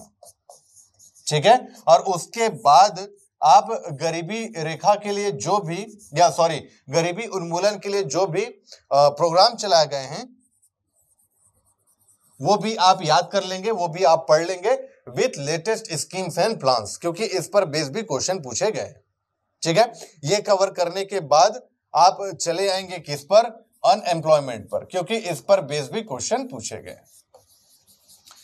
बेरोजगारी क्या है? बेरोजगारी दर क्या है? विभिन्न प्रकार के बेरोजगारी क्या होते हैं? जैसे प्रच्छन्न बेरोजगारी आपने, आप देखेंगे, आपने स्ट्रक्चरल अनएम्प्लॉयमेंट देखा या संरचनात्मक बेरोजगारी देखी, ये सारे टॉपिक आपसे पूछे जाते हैं, ठीक है? और उसके बाद बेरोजगारी के मापन पर आधारित प्रश्न पूछा जाएगा, और उसके बाद बेरोजगारी को दूर करने के लिए जो भी स्कीम्स चलाए गए हैं, उस पर एक विश्लेषणात्मक आप अपनी पकड़ बना लेंगे, क्योंकि इस पर भी आधारित प्रश्न पूछे जाते हैं। तो जब आप मेंस के लिए इंडियन इकोनॉमी तैयार करें तो इतने टॉपिक पर आप अपनी स्पेशल फोकस बनाकर रखेंगे, जैसा जितना भी मैंने आपको बताया है। एक ब्रीफ इंट्रोडक्शन दिया है, बहुत माइन्यूट लेवल पर मैंने नहीं खोला है, लेकिन अगर आप प्रारंभिक परीक्षा की भी तैयारी कर चुके हैं तो ये सारे टॉपिक आप समझ गए होंगे। एक स्केलेटन मैंने तैयार कर लिया है कि कौन कौन से टॉपिक पर आपको अपनी समझ बनानी होगी। और इतने टॉपिक पर अगर आपकी अंडरस्टैंडिंग बिल्ड है, आपको कंटेंट याद है तो लगभग 80 से 90 प्रतिशत क्वेश्चन को आप सॉल्व कर ले जाएँगे इकोनॉमी से रिलेटेड मेंस के एग्ज़ाम पर। ठीक है? चलिए तो ये तो हमने समझ लिया। लौट कर आते हैं दोबारा से कहा? क्वेश्चंस पर ही बात करते हैं। देखिए, भारत निर्माण योजना अब आपके सिलेबस का हिस्सा नहीं है तो इस पर आप परेशान नहीं होंगे। ठीक है? What is the basis of determination of poverty line in India तो जैसा कि मैंने अभी आपको बताया कि गरीबी पर विभिन्न प्रकार की गरीबी गरीबी के मापन और गरीबी रेखा कैसे निर्धारित की जाती है, इस पर आपको समझ बनानी है। तो ये जो क्वेश्चन आपका है ये गरीबी रेखा का निर्धारण कैसे किया जाता है, उस पर बेस्ड है, ठीक है? लेकिन ध्यान रखिएगा कि इसमें आपको कुछ समितियों का नाम लिखना होगा। जैसे तेंदुलकर समिति, रंगराजन समिति या लक्कड़वाला समिति तो इन समितियों के बारे में आपको लिखना होगा। अब यहाँ पर पूछा गया है बेसिस किस आधार पर गरीबी रेखा का निर्धारण किया जाता है। तो आप गरीबी रेखा के निर्धारण के लिए इन विभिन्न समितियों के द्वारा जो भी अनुशंसा की गई है, उस पर आप लिखेंगे। जैसे प्रति व्यक्ति, प्रति माह कितना खर्च अगर कोई व्यक्ति करेगा तो गरीबी रेखा में आएगा या गरीबी रेखा के नीचे कहलाएगा तो इन सारी चीज़ों को आप लिखेंगे। आधार क्या लिया जाता है? तो कैलोरी इनटेक, और कहीं कहीं पर आपको आधार दिखेगा सिर्फ़ एक्सपेंडिचर। तो इन सारी चीज़ों को मतलब कि किस लिए खर्च किया जा रहा है, उस पर भी आप बात यहाँ पर करेंगे। साथ ही साथ कितना खर्च किया जा रहा है, उस पर भी बात आप करेंगे इस प्रकार के क्वेश्चन पर। जब गरीबी रेखा पर आधारित आपसे प्रश्न पूछा जाए तो। क्लियर है? चलिए, आगे बढ़ते हैं। फिर तो ज्योग्राफी के क्वेश्चन हमारे सामने चले आते हैं। सॉरी सीजी ज्योग्राफी के बट हम क्या करेंगे? इंडियन इकोनॉमी को डील करेंगे 2016 के पेपर में। योजनागत व्यय क्या है? व्हाट इज़ प्लान एक्सपेंडिचर अब ये शब्द हो सकता है कि आपको नया सा लगे, लेकिन प्लान एक्सपेंडिचर हमें कहाँ पर देखने को मिलेगा? तो सरकार के बजट के, पूंजीगत खाते के, पूंजीगत व्यय को ही प्लांट एक्सपेंडिचर सामान्य तौर पर कहा जा रहा है। ठीक है? तो इसे आप बढ़िया से ऐसा बता सकते हैं कि इस प्रकार का व्यय जिसे बजट बनाते समय पूर्व में ही निर्धारित कर दी जाए और जिसका उद्देश्य पूंजी निर्माण हो या फिर जीडीपी पर वृद्धि हो या फिर देश में उत्पादन का बढ़ाना हो, ये सारे जो खर्चे होंगे, ये प्लान एक्सपेंडिचर के अंडर आते हैं। प्लान एक्सपेंडिचर या योजनागत व्यय के अंतर्गत आते हैं। ठीक है? तो प्लान एक्सपेंडिचर पर आप ये सारी चीज़ें लिख देंगे। What is the budget management policy of the government of Chhattisgarh तो ये हम सीजी इकोनॉमी पर देखेंगे। चलिए, आगे बढ़ते हैं। तो सेक्शन वन आपका समाप्त हुआ। अब आता है section two maximum word limit मैंने कितनी बताई थी? साठ और मैक्सिमम मार्क्स यहाँ पर चार। ठीक है? Explain the trends of recent changes in Indian economy अब बात यह आती है कि इस प्रकार के क्वेश्चन का कंटेंट कहाँ मिलेगा? कई लोग पूछते हैं, सर, ये कंटेंट किसी भी किताब में नहीं मिलता? बहुत परेशान है हम। कैसे करें? परेशान होने की बात है। मैंने आप लोगों को कुछ टॉपिक बताए, कुछ इंपॉर्टेंट टॉपिक उस टॉपिक पर जो भी चीज़ें आपने पढ़ी है, जो भी आपने समझा है, उन्हीं कंटेंट से आपको इस प्रकार के प्रश्नों का उत्तर निकालना होगा। जैसे कि अगर आपसे ट्रेंड पूछ लिया गया है, किस पर वो भी इकोनॉमी से रिलेटेड तो आपसे क्या पूछा गया है? इंडियन इकोनॉमी भारतीय अर्थव्यवस्था। तो भारतीय अर्थव्यवस्था के कौन कौन से कंपोनेंट होते हैं? तो भारतीय व्यवस्था के बहुत सारे कंपोनेंट है। जैसे अगर मैं इंडियन इकोनॉमी आपसे कहूँ तो इंडियन इकोनॉमी सुनते हुए आपको क्या समझ में आता है? क्या आपकी आँखों के सामने चला आता है? तो इंडियन इकोनॉमी सुनते हुए सबसे पहले तो आँखों के सामने आता है इंडिया का जीडीपी या ग्रोथ फिर इंडिया में एम्प्लॉयमेंट फिर इंडिया की इनकम फिर इंडिया के बाजारों में डिमांड फिर इंडिया के बैंकों में बचत, फिर इंडिया में इन्वेस्टमेंट फिर इंडिया में इन्फ्लेशन इंडिया में एक्सपोर्ट इंडिया में इंपोर्ट क्लियर है? तो ये सारी चीज़ें हमारे आँखों के सामने चली आई। अब अगर आप लोगों से पूछ लिया गया इंडियन इकोनॉमी में जो ट्रेंड है उस पर तो आपको इन्हीं सारे कंपोनेंट पर क्या करना होगा? बात करना होगा। सबसे पहले आप ग्रोथ पर बात करेंगे जीडीपी ग्रोथ पर बात करेंगे। देखिए, ऐसे सारे चीज़ों के कंटेंट कहीं किसी किताब में मिल जाए, ऐसा संभव नहीं है। ये हमको कॉमन सेंस का यूज़ करते हुए समझना होगा। इंडियन इकोनॉमी विषय के जो टॉपिक मैंने आपको बता दिए, उन टॉपिक को अगर आपने अच्छे से पढ़ लिया है तो आप इंडियन इकोनॉमी जैसे सुने तो हर एक टॉपिक से रिलेटेड आपको बात कर देनी है दो दो लाइन पर। जैसे सबसे पहले आपने नेशनल इनकम कहा तो अब वहाँ पर आप जीडीपी के बारे में समझ चुके होंगे। तो जीडीपी से रिलेटेड कुछ बात कर ले कि पहले जीडीपी ऐसे हुई करती थी, अब जीडीपी का ट्रेंड बदलकर कुछ इस प्रकार से हो गया है। क्लियर है? फिर उसके बाद आप एम्प्लॉयमेंट से रिलेटेड बात कर ले, प्रति व्यक्ति आय से रिलेटेड आप बात कर ले। ठीक है? मार्केट में जो डिमांड है, उससे रिलेटेड आप बात कर ले कि डिमांड किस प्रकार से बदला है कंजप्शन किस प्रकार से बदला हुआ है, और ये किस प्रकार से और बदलता जा रहा है। बैंकों के बारे में आप बात कर ले तो कहने का मतलब क्या है कि अगर आप लोगों ने अर्थव्यवस्था के virtual cycle and visual cycle वाले टॉपिक को देखा है मेरे, चाहे कोर्स में या फिर यूट्यूब में भी आपको ये वीडियो मिल जाएगा। जैसे कि अभी हमारा इंग्लिश मीडियम बेस्ड एक कोर्स लॉन्च किया गया है इंग्लिश मीडियम एस्पिरेंट्स के लिए। उस कोर्स से रिलेटेड एक डेमो वीडियो भी यूट्यूब पर आया गया है, जिसमें virtual cycle in vicious cycle of economy देखने को मिला है। उसमें वो सारे कंपोनेंट के बारे में आपको देखने को मिल जाएगा, जो भारतीय अर्थव्यवस्था को भारतीय अर्थव्यवस्था बनाते हैं। तो जब ऐसा ट्रेंड पूछ लिया जाए और लिख दिया जाए कि इंडियन इकोनॉमी तो उन सारे कंपोनेंट पर आप दो दो लाइन लिख दें कि किस प्रकार से ट्रेंड बन रहा है, बना हुआ है, या बन रहा है, या परिवर्तित हुआ है। ठीक है? बहुत ज़्यादा आपको परेशान नहीं होना है इस प्रकार के प्रश्नों के लिए। अब क्योंकि ये मात्र साठ शब्दों में लिखना है तो तीन चार घटकों के बारे में भी अगर आप लिख देंगे तो काफ़ी हो जाएगा। ठीक है? Explain the new policy of the year 2017-18 of reserve bank of India भारतीय रिज़र्व बैंक के वर्ष 2017-18 की नई नीति को समझाइए। ठीक है? अब मैंने आप लोगों को मुद्रा स्फीति के बाद मौद्रिक नीति बताई थी। उसी इस पर आधारित आपको बात यहाँ पर करनी होगी। किस किस प्रकार की नीति बनाई जा रही है, कैसे बनाई जा रही है इन मुद्रा स्फीति बस फोकस में रखे हुए हैं या फिर हम जीडीपी ग्रोथ रेट को भी फोकस में रखे हुए हैं। और अभी इस सप्ताह जब ये वीडियो रिकॉर्ड किया जा रहा है, इस वीडियो रिकॉर्डिंग के बाद जो सप्ताह आने वाला है, उसमें मौद्रिक नीति की एक रिपोर्ट भी आने वाली है, मौद्रिक नीति समिति की।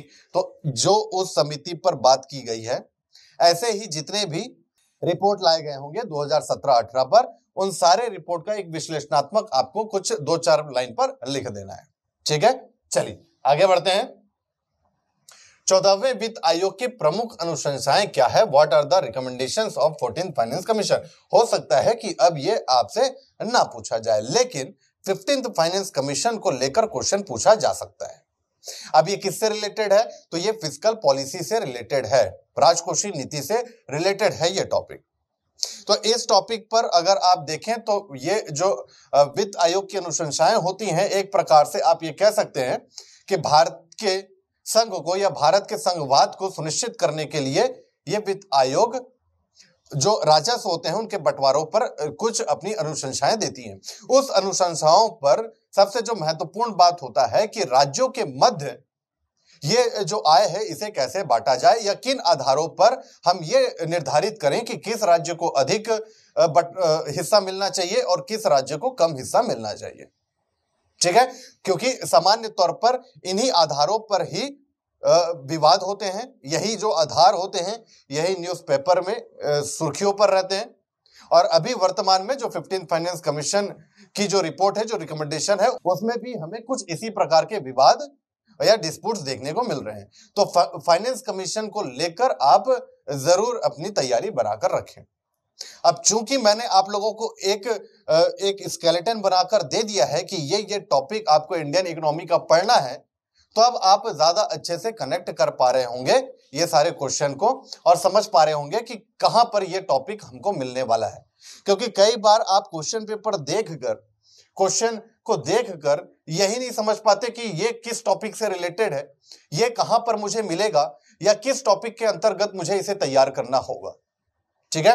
तो अब आप ये जो मैंने स्केलेटन दिए हैं, उस स्केलेटन के आधार पर आप हर एक क्वेश्चन को कनेक्ट कर ले जाएँगे कि ये क्वेश्चन यहाँ पर मिलेगा, ये क्वेश्चन उस टॉपिक में मिलेगा। चलिए, आगे बढ़ते हैं। Explain the rationals of prime minister Jandhan Yojana Jandhan Yojana के बारे में पूछा गया है। अब मैंने कुछ स्कीम्स की बात की, जैसे पॉवर्टी पर अनएम्प्लॉयमेंट पर। तो देखिए, अगर हम गरीबी उन्मूलन की बात करते हैं तो गरीबी उन्मूलन तभी संभव हो सकता है जब ये जो वर्ग है, जो गरीबी रेखा के नीचे निवास करने वाला वर्ग है, जब भारत के फाइनेंशियल सिस्टम के मेन स्ट्रीम पर आ जाए या फिर मुख्य धारा में शामिल हो जाए। क्योंकि अगर वो मुख्य धारा में शामिल नहीं होंगे तो सरकार जितने भी योजनाएँ संचालित करेगी, हो सकता है कि वह उन संचाल, उन योजनाओं से अछूते रह जाए और गरीबी उन्मूलन कार्यक्रम चलाए तो जाए, लेकिन उनका गरीबी उन्मूलन में कोई भी प्रभाव ना देखने को मिले। और इसी के तर्ज पर क्या किया गया? लोगों को जोड़ने के लिए फाइनेंशियली इंक्लूड करने के लिए, वित्तीय समावेश के लिए एक योजना लाई गई और उस योजना का नाम क्या था? जनधन योजना। तो जब आप पॉवर्टी रिलेटेड स्कीम्स की तैयारी करेंगे या अनएम्प्लॉयमेंट रिलेटेड स्कीम्स की तैयारी करेंगे, तब आपको ये जनधन तैयार करना होगा। क्योंकि इसका भी प्रत्यक्ष या अप्रत्यक्ष तरीके से उद्देश्य तो यही है कि देश में गरीबी एवं बेरोजगारी को संपूर्ण रूप से समाप्त कर लिए जाए। क्लियर है? चलिए, आगे बढ़ते हैं। ये कहाँ कहाँ मिलेंगे, इस पर बात कर रहे थे। अब rationals of prime ministers Jandhan Yojana तो जो अभी मैंने आपको बताया, वही इसका मॉडल आंसर है। रैशनल क्या है? कहने का मतलब क्या है? औचित्य क्या है? तो औचित्य मैंने आपको बताया अभी। किसका औचित्य क्या है? मुख्य धारा में लोगों को जोड़ना फाइनेंशियली इंक्लूड करना, ताकि सरकार जो भी फाइनेंशियल स्कीम्स लेकर आए वेलफेयर स्कीम्स लेकर आए, उसका लाभ इनको मिल सके। और सही तरीके से गरीबी उन्मूलन कार्यक्रम जो है, अपने उद्देश्य की पूर्ति कर पाए। चलिए, आगे बढ़ते हैं।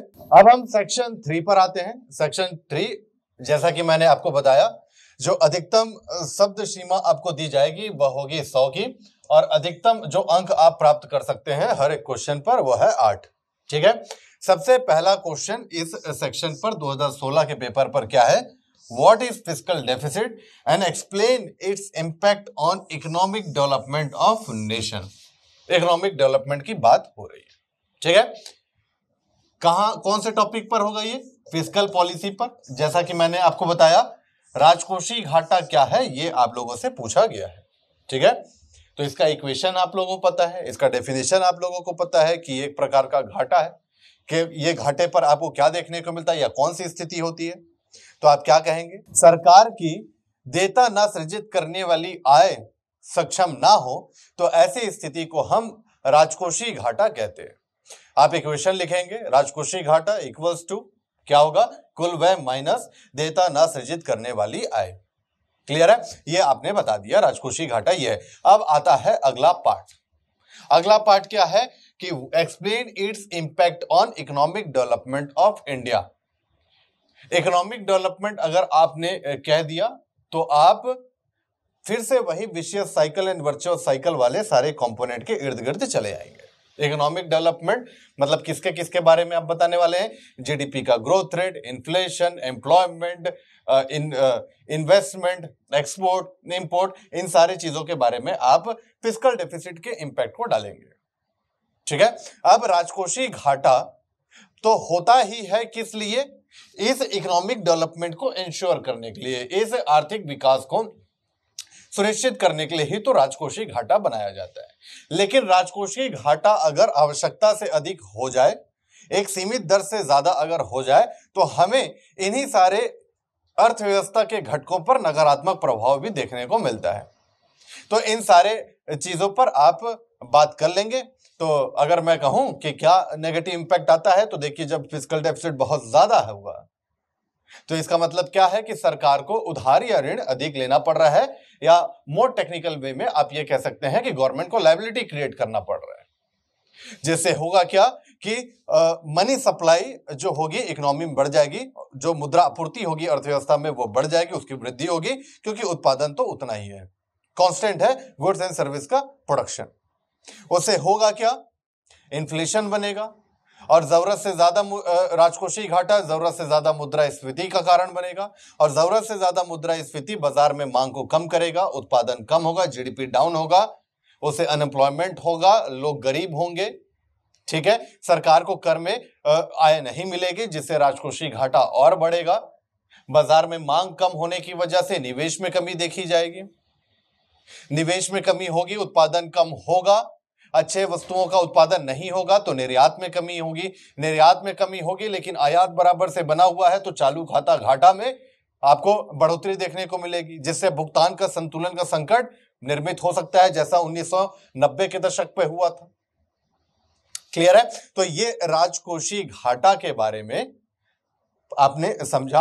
अब इसका पॉजिटिव और इसका नेगेटिव इंपैक्ट क्या होगा, ये आपको समझना है। ये आपको किस टॉपिक के अंतर्गत पढ़ना है? फ़िज़िकल पॉलिसी के टॉपिक के अंतर्गत पढ़ना है। जब आप ये वाला पार्ट लिखेंगे explain its impact on development of nation तो ये पॉइंट पर होगा।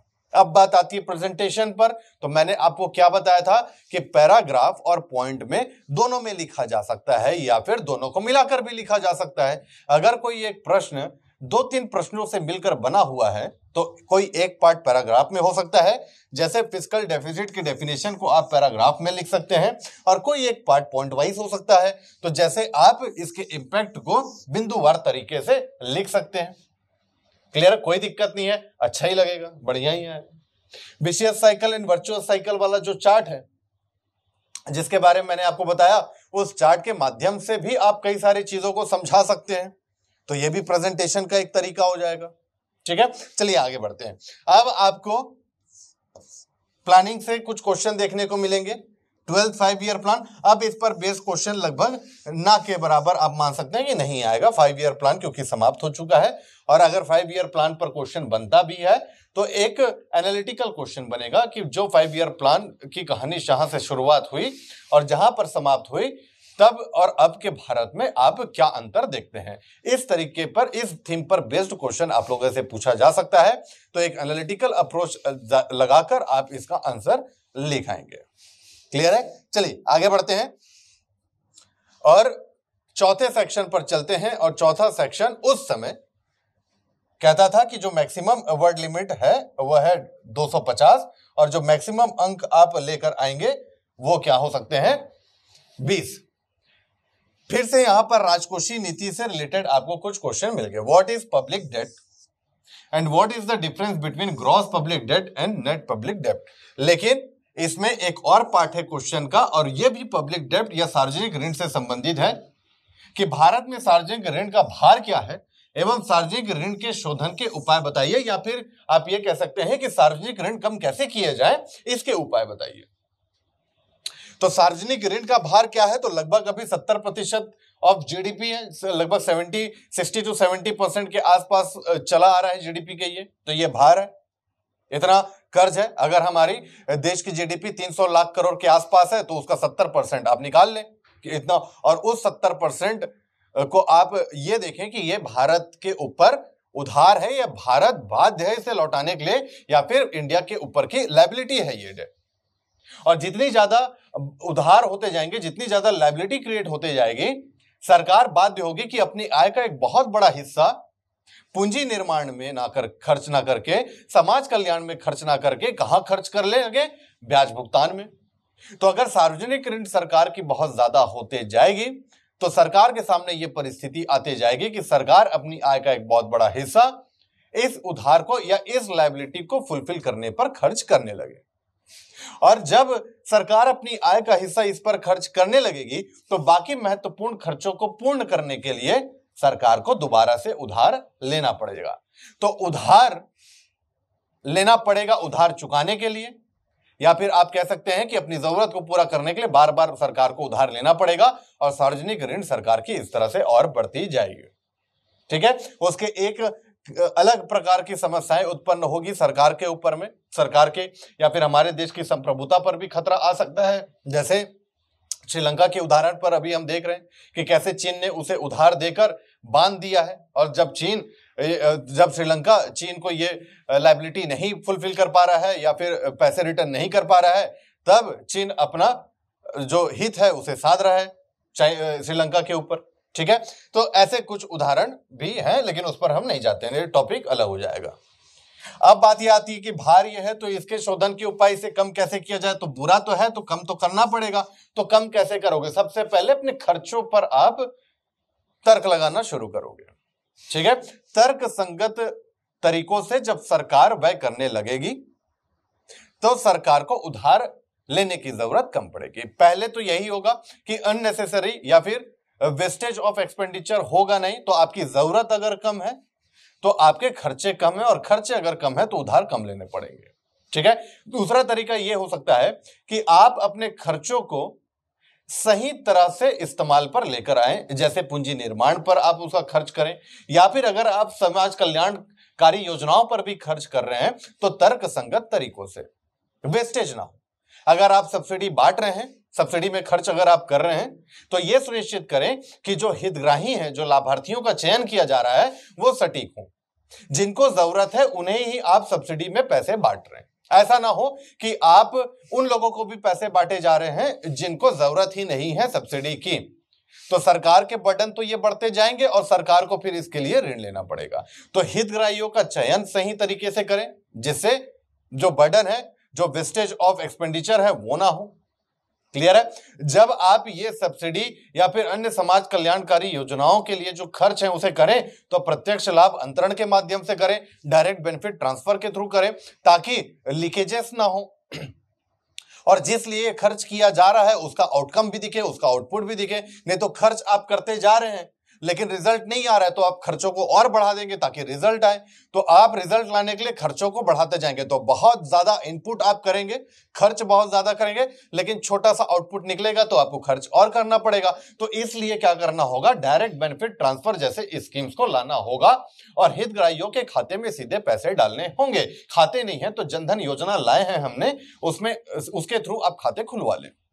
क्लियर है। और फिर उसके बाद सीधा उनके खातों पर जब पैसा जाएगा तो आप जितना इनपुट कर रहे हैं, उतना आउटपुट भी आपको दिखने लगेगा। तो ज़रूरत से ज़्यादा खर्चा आपको नहीं करना पड़ेगा तो आपकी लाइबिलिटी भी कम होने लगेगी। तो एक तरफ़ तो सरकार को अपने खर्चों को कम करना होगा, दूसरा अपने खर्चों को तर्क संगत करना होगा।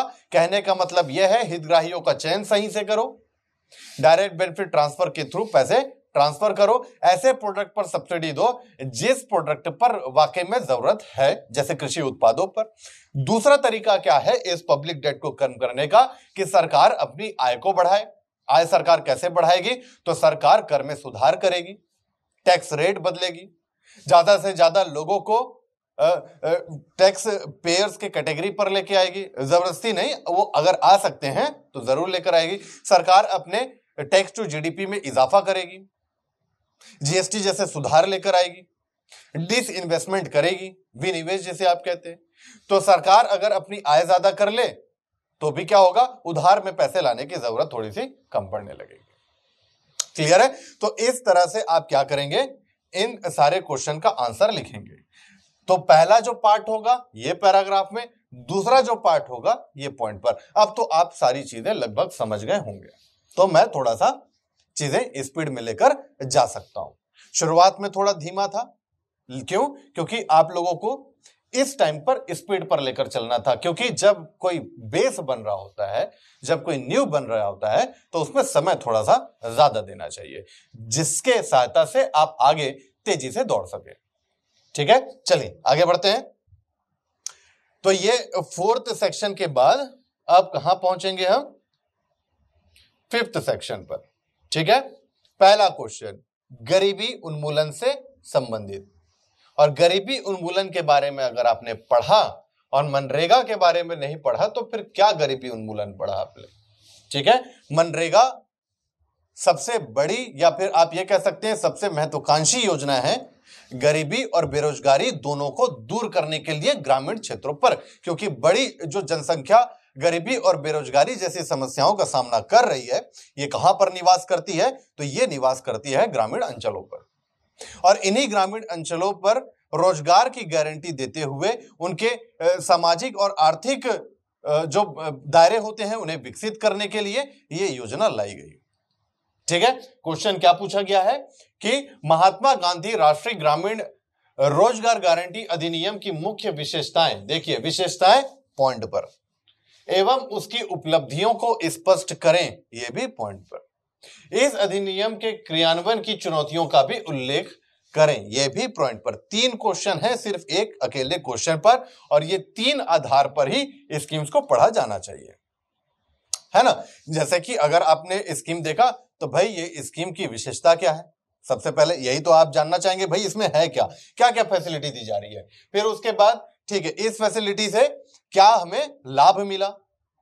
फिर इस फैसिलिटीज़ पर या इस योजनाओं पर क्या चुनौती देखी जा रही है? ये तीन आधारों पर ही तो किसी स्कीम को पढ़ा जाना चाहिए। और अगर आपने मनरेगा पढ़ा है और इस स्कीम को इसी तीन पिलर पर अगर पढ़ा है तो आप इसका उत्तर काफ़ी अच्छे से लिख लेंगे कि कितने दिनों की गारंटी दी जा रही है, कितना कंपनसेट किया जाएगा, आवेदन करने के कितने दिनों बाद अगर रोज़गार नहीं मिला तो कितना कंपनसेशन मिलेगा? महिलाओं के लिए कितना क्या इसमें बात रखी गई है? कितना खर्च, कितना जो खर्च किया जा रहा है, वो कितना रोज पेमेंट के लिए और कितना पूंजी निर्माण के लिए किया जा रहा है? आ रही बात समझ में? तो और कितने दिनों के लिए ये गारंटी दी जाएगी? तो ये विशेषताएँ हो गई। फिर उपलब्धियों पर जब बात होगी, तब आप क्या बात करेंगे? कितने मानव दिवस कार्य निर्मित किए गए? कि कितने पूंजी का निर्माण किया गया? इस पर बात होगी। चुनौतियों का सामना जब आप इस पर बात करेंगे चुनौतियों पर, तब आप बहुत सारी चीज़ें लिखेंगे कि प्रचंड बेरोजगारी जैसी समस्या दिख रही है। अभी भी बहुत सारे लोग इससे अनटच्ड हैं। तो इस तरह से 2016 का इकोनॉमी का पेपर, इंडियन इकोनॉमी का पेपर हमने डिस्कस कर लिया। ठीक है? चलिए, अब क्योंकि हमने एक बेस बना लिया है तो 2016 का पेपर हमने देख लिया, अब 2017 और 2018 के पेपर को भी इसी के साथ साथ में डिस्कस कर लेते हैं। अब हम वर्ष 2017 के मेंस के पेपर पाँच पर चले आते हैं और इसमें जो इकोनॉमी के क्वेश्चन दिए गए हैं इंडियन इकोनॉमी के क्वेश्चन दिए गए हैं, उसमें अपने चर्चा की शुरुआत करते हैं। चलिए सेक्शन वन दो नंबर का, तीस शब्दों पर आपको लिखना है। ये कब तक रहेगा? ये 2017 के मेंस पेपर तक आपको ये पैटर्न देखने को मिलेगा। और जैसा कि मैंने आपको बताया कि वर्ष 2018 के जो क्वेश्चन पेपर आए उसमें ये सारे पैटर्न बदल गए थे। सिलेबस में परिवर्तन हुआ था। Number of question total number of marks distribution in different section ये सारी चीज़ें बदल गए थे। चलिए हम आते हैं uh, सबसे पहले क्वेश्चन पर इकोनॉमी से। आर्थिक समृद्धि का क्या आशय है? What do you mean by economic growth जब आप नेशनल इनकम पढ़ लेते हैं, जैसे मैंने आपको बताया, कुछ महत्वपूर्ण इंपॉर्टेंट सेक्शन इंडियन इकोनॉमी के तो सबसे पहला मैंने आपको बताया नेशनल इनकम राष्ट्रीय आय, जिसमें जीडीपी जीएनपी इन सारी चीज़ों पर बात करेंगे। तो जब आप इसे पढ़ लेते हैं तो एक टॉपिक को आपको इसी के साथ अटैच करके डील करना चाहिए, और वो किससे होना चाहिए? वो डेवलपमेंट से होना चाहिए।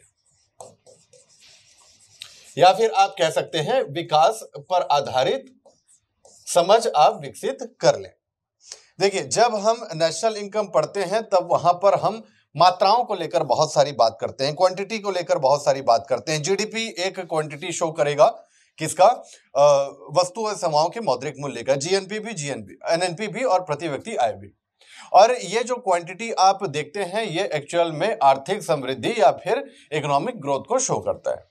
लेकिन जब हम डेवलपमेंट की बात करते हैं, विकास की बात करते हैं तो ये ग्रोथ से थोड़ा सा अलग दृष्टिकोण हमारे सामने लेकर आता है। ठीक है?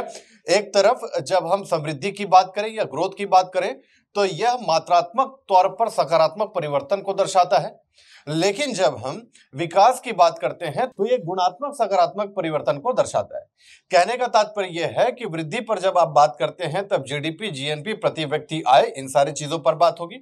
और जब आप विकास पर जाएँगे तो वहाँ पर सामाजिक और आर्थिक स्थिति पर बात होगी लोगों के। मतलब कि स्वास्थ्य सेवाएँ किस प्रकार से है, शिक्षा का स्तर किस प्रकार से है, कितने लोगों के पास आवास की सुविधा है, कितने लोगों के पास स्वच्छ पेयजल की सुविधा है, कितने घरों में शौचालय है, इन सारी चीज़ों पर जब बात होगी, जब नागरिकों के जीवन के स्तर पर बात होगी तो यह विकास की कहानी होगी। क्लियर है? तो इसलिए हमें समृद्धि पढ़ने के बाद उसी से कनेक्ट करते हुए विकास को भी समझ लेना चाहिए और इस विकास वाले टॉपिक से भी क्वेश्चन पूछे जा सकते हैं। एक तो यही पूछा जा सकता है कि वृद्धि एवं विकास में क्या अंतर है और जब आप विकास वाले टॉपिक पे जाए तो इसी के अंतर्गत आप human development index multi dimensional poverty index green GDP या ग्रॉस नेशनल हैप्पीनेस इन सारे टॉपिक्स को आप पढ़ेंगे जब आप विकास को डील करेंगे। ठीक है? तो चलिए, यहाँ पर लेकिन पूछा गया है कि इकोनॉमिक ग्रोथ से आप क्या समझते हैं? देखिए इकोनॉमिक ग्रोथ सीधे तौर पर आप जीडीपी के बारे में ही बात कर सकते हैं। आप इसका उत्तर कुछ इस प्रकार से लिख सकते हैं कि किसी भी अर्थव्यवस्था पर वस्तु और सेवाओं के मौद्रिक मूल्य में जो वृद्धि दर्ज की जाती है, वही आर्थिक वृद्धि है। लेकिन सिर्फ़ यही तक कि आर्थिक वृद्धि का जो परिभा, परिभाषा है या जो इसका तात्पर्य है वो समाप्त नहीं होगा। इसमें आप कुछ और चीज़ एड ऑन करेंगे और वह चीज़ आप ये एड ऑन कर सकते हैं कि आर्थिक जब ग्रोथ आप देखेंगे इकोनॉमिक ग्रोथ आप जब देखेंगे तब आप ये भी देखेंगे कि कितनी क्वालिटी की और किस क्वांटिटी में अर्थव्यवस्था पर क्या हुआ है पूंजी का निर्माण हुआ है। किस तरह से जो हमारा मानव संसाधन है, उसका विकास हुआ है, या फिर आप कह सकते हैं उनका स्किल डेवलप हुआ है, और किस प्रकार से उन संसाधनों का विकास हुआ है जिसकी सहायता से इन वस्तुओं और सेवाओं का उत्पादन किया जा सकता है? उदाहरण के तौर पर आप टेक्नोलॉजी को कंसिडर कर सकते हैं। तो जब आप इकोनॉमिक ग्रोथ कहें तो जीडीपी वाले पार्ट को आप पहले लिखें, लेकिन उसके साथ साथ में आप मानव संसाधन के स्तर पर वृद्धि को भी ज़रूर वहाँ पर मेंशन करें। अर्थव्यवस्था पर कितना पूंजी निर्माण हुआ है, उसको भी आप मेंशन करें। और कितना यहाँ पर संसाधनों का इजाफा हुआ है, जिसकी सहायता से वस्तु और सेवाओं का उत्पादन होता है, उसके बारे में भी आप लिख दें। तो इकोनॉमिक ग्रोथ में ये सारी चीज़ें आएँगी। और जब विकास पूछ लिया जाए इकोनॉमिक डेवलपमेंट पूछ लिया जाए, तब वहाँ पर आप जीवन के स्तर पर बात करेंगे। अगर डेवलपमेंट पूछ लिया जाए तो आप देखें, आप क्या बताएँगे कि इसमें नागरिकों के जीवन के स्तर से संबंधित संकेतकों पर चर्चा की जाती है, जैसे स्वास्थ्य स्तर, शिक्षा स्तर आवास शुद्ध पेयजल तो ये सारे कंपोनेंट उसके अंदर चले आएँगे। ठीक है? चलिए, आगे बढ़ते हैं। अंडरलाइन करना आप ज़रूर याद रखेंगे, जैसा कि मैंने आपको सबसे पहले ही बता दिया है। What do you mean by public finance अगला क्वेश्चन है। देखिए, पहला क्वेश्चन नेशनल इनकम से आ गया, दूसरा क्वेश्चन फ़िज़िकल पॉलिसी से आ गया तीसरा क्वेश्चन भी फ़िज़िकल पॉलिसी का है और चौथा क्वेश्चन जो है, ये इन्फ्लेशन या मुद्रा स्फीति वाले टॉपिक से है। तो सिलेबस पर क्या लिखा है? अगर वो ना समझ में आए तो इस वीडियो पर जो मैंने आपको बता दिया है कि कौन कौन से टॉपिक को पढ़ना है, पढ़ लीजिए। उसी के इर्द गिर्द ही आपको सारे क्वेश्चन देखने को मिलेंगे। चलिए, आगे बढ़ते हैं। पब्लिक फाइनेंस से आप क्या समझते हैं? तो भाई पब्लिक फाइनेंस अर्थात या सार्वजनिक वित्त का तात्पर्य क्या है? तो सरकार के आय और व्यय से संबंधित यहाँ पर बात हो रही है। और इसका अभिप्राय क्या है? तो सरकार की आय और व्यय से संबंधित नीति होगी है जो मात्रात्मक एवं गुणवात्मक दोनों ही बिंदुओं पर केंद्रित होगा।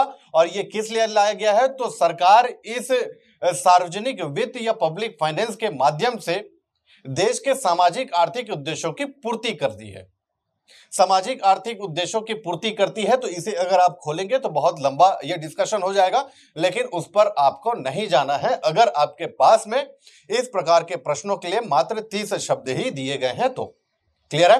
तो इस तरह से आप पब्लिक फाइनेंस को समझा देंगे। देखिए, एकदम बेसिक से क्वेश्चन आते हैं। बहुत ज़्यादा कॉम्प्लिकेटेड नहीं होते। बस आपसे समझ वह जांचना चाहते हैं कि आप समझते कितना है इस पर्टिकुलर टॉपिक को, कि ये टॉपिक हम पढ़ क्यों रहे हैं, इस टॉपिक को पढ़ने से हमें फ़ायदा क्या होगा? अगर आपको इतना पता है और इस जानकारी को अच्छे शब्दों के चयन के साथ अगर आप लिख आएँगे तो आपको मार्क्स पूरे के पूरे मिल जाएँगे। ठीक है? चलिए, आगे बढ़ते हैं। अगला प्रश्न है स्ट्रेटेजिक बिक्री को समझाइए एक्सप्लेन स्ट्रेटेजिक सेल्स देखिए, ये फ़िज़िकल पॉलिसी के जब आप बजट पर जाएँगे और बजट के कैपिटल अकाउंट के, जब आप कैपिटल रिसिप्ट या पूंजीगत प्राप्ति पर पहुँचेंगे, तब आपको दो प्रकार की प्राप्ति मिलेगी। एक होगी ऋण से प्राप्त आय और एक आपको देखने को मिलेगा गैर ऋण घटक से प्राप्त आय। इस गैर ऋण पर सबसे ज़्यादा जो भार होगा, वह किसके द्वारा होगा? तो विनिवेश या डिस इन्वेस्टमेंट के थ्रू जो गवर्नमेंट इनकम जनरेट करती है, उसका भार होगा। ठीक है? डिस इन्वेस्टमेंट क्या है? देखिए, ये न्यूज़ में लगातार बना हुआ है। डिस इन्वेस्टमेंट कहने का तात्पर्य क्या है कि जब सरकार सार्वजनिक उपक्रमों से अपने शेयर को बेच देती है, निजी क्षेत्रों को तो इसे सरकार के द्वारा किया गया डिस इन्वेस्टमेंट कहलाता है। अब इस डिस इन्वेस्टमेंट को हम स्ट्रेटेजिक सेल्स पर कैसे लेकर आएँगे? मान लेते हैं कि कोई ऐसी सार्वजनिक उपक्रम है जो नुकसान दे रही है, लाभ नहीं हो रहा है, बहुत ज़्यादा सरकार को उस पर खर्च करने पड़ रहे हैं और सरकार इस नुकसान की भरपाई नहीं कर पा रही है। और सरकार अगर अपने शेयर को इन इन सार्वजनिक उपक्रमों के शेयर को कुछ इस तरह से बेचे कि इसका स्वामित्व ही ट्रांसफ़र हो जाए निजी क्षेत्रों के पास में। तो होगा क्या? मान लेते हैं कि सरकार शेयर इतना बेच देती है कि 50 प्रतिशत से कम शेयर अब सरकार के पास है और 50 प्रतिशत से ज़्यादा शेयर अब निजी क्षेत्रों के पास में है।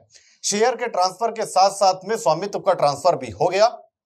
और अब क्या होगा कि इन उपक्रमों पर सरकार को खर्च करना नहीं पड़ेगा, क्योंकि जिस निजी क्षेत्र ने उस सार्वजनिक उपक्रम को खरीदा है, उसे लाभ अर्जित करना है तो वह इसमें सुधार करेंगे, वह नीति निर्माण करेंगे, योजना बनाएँगे, उन योजनाओं का क्रियान्वयन करेंगे और वह प्रयास करेंगे कि जो उन्होंने निवेश किया है, उसका उसका जो रिटर्न आए, वो लाभ के रूप में ही आए। तो सरकार ने क्या किया कि डिस इन्वेस्टमेंट के माध्यम से ऐसे नुकसानदेह सार्वजनिक उपक्रमों को बेच दिया, जिससे उन्हें आय भी अर्जित हुई और वह उपक्रम भी अब बच सकता है और उस उपक्रम के साथ संलग्न जो उत्पादन के कारक है, वो भी सुरक्षित रह सकते हैं। जैसे कि उस उपक्रम में कार्य कर रहे श्रम, ठीक है? तो इस तरह से जब सरकार डिसइन्वेस्टमेंट करती है तो उसे स्ट्रेटेजिक सेल्स कहा जाता है। और अभी भी ये न्यूज़ में है और अभी भी क्वेश्चन के तौर पर पूछा जा सकता है। चलिए, आगे बढ़ते हैं। What is meant by wholesale price index थोक मूल्य सूचकांक से क्या अभिप्राय है? WPI के बारे में पूछा गया है। WPI क्या है? यह एक टूल है जिसके सहायता से इन्फ्लेशन या मुद्रा स्थिति का मापन किया जाता है। ठीक है? इसमें लगभग छह सौ संतानवे वस्तुओं को शामिल किया जाता है। सेवाएँ शामिल नहीं होती, ध्यान रखिएगा, जिन्हें तीन वर्गों पर विभाजित किया जाता है। ठीक है? इस, इससे संबंधित जो भी परिवर्तन होंगे, जो भी सुधार होंगे, वो किसके द्वारा किया जाता है? तो वह कॉमर्स मिनिस्ट्री के द्वारा किया जाता है। ठीक है? और इसमें जो मुद्रा स्थिति का मापन किया जाता है या थोक स्तर पर किया जाता है उपभोक्ता स्तर पर नहीं किया जाता। इतने पॉइंट आपने अगर लिख दिए तो आपने WPI को समझा दिया होलसेल प्राइस इंडेक्स को समझा दिया। चलिए, आगे बढ़ते हैं। और अब हम टैक्स क्या है, इस प्रश्न पर अगर हम आए व्हाट इज़ टैक्स तो लगभग सभी को पता होगा कि कर क्या है, कैसे लिखना है, ये आप लोगों को पता होगा, लेकिन ध्यान रखिएगा कि बहुत छोटी छोटी गलतियों से डेफिनेशन भी गलत हो जाते हैं। सामान्य तौर पर टैक्स को लोग बोल देते हैं कि एक प्रकार का भुगतान है, या फिर तो ऐसा नहीं है। टैक्स के बारे में जब आप बताएँ, तब आप स्पष्ट करें कि यह एक अनिवार्य योगदान है किसी व्यक्ति या निगम के द्वारा, सरकार को किस लिए समाज कल्याण के लिए। ठीक है? क्या आप लोग यहाँ पर क्या मेंशन करना है? अनिवार्य योगदान का मेंशन करना है। किसको करना है? सरकार को ये योगदान करना है। किस लिए करना है? तो समाज कल्याण के लिए और इसके बदले में कोई आपको विशेष लाभ अपेक्षित नहीं करना है। अगर इन सारे चीज़ों को डेफिनेशन पर मैं अगर सजा दूँ तो कुछ इस प्रकार से दिखेगा। बिना किसी विशेष लाभ की अपेक्षा रखते हुए, किसी व्यक्ति या निगम द्वारा समाज कल्याण के लिए सरकार को किया गया अनिवार्य योगदान कर कहलाता है। ठीक है? तो डेफिनेशन के तौर पर कुछ इस तरह से ये दिखेगा। चलिए, आगे देखते हैं। अब ये छत्तीसगढ़ पर आधारित प्रश्न है तो इसे हम दूसरे भाग में देखेंगे। अब यहाँ पर हम चले आते हैं खंड दो पर। साठ शब्दों पर आपको लिखना होगा और यहाँ पर जो पहला प्रश्न हमें दिखता है, वो किससे रिलेटेड है? अनएम्प्लॉयमेंट से रिलेटेड है।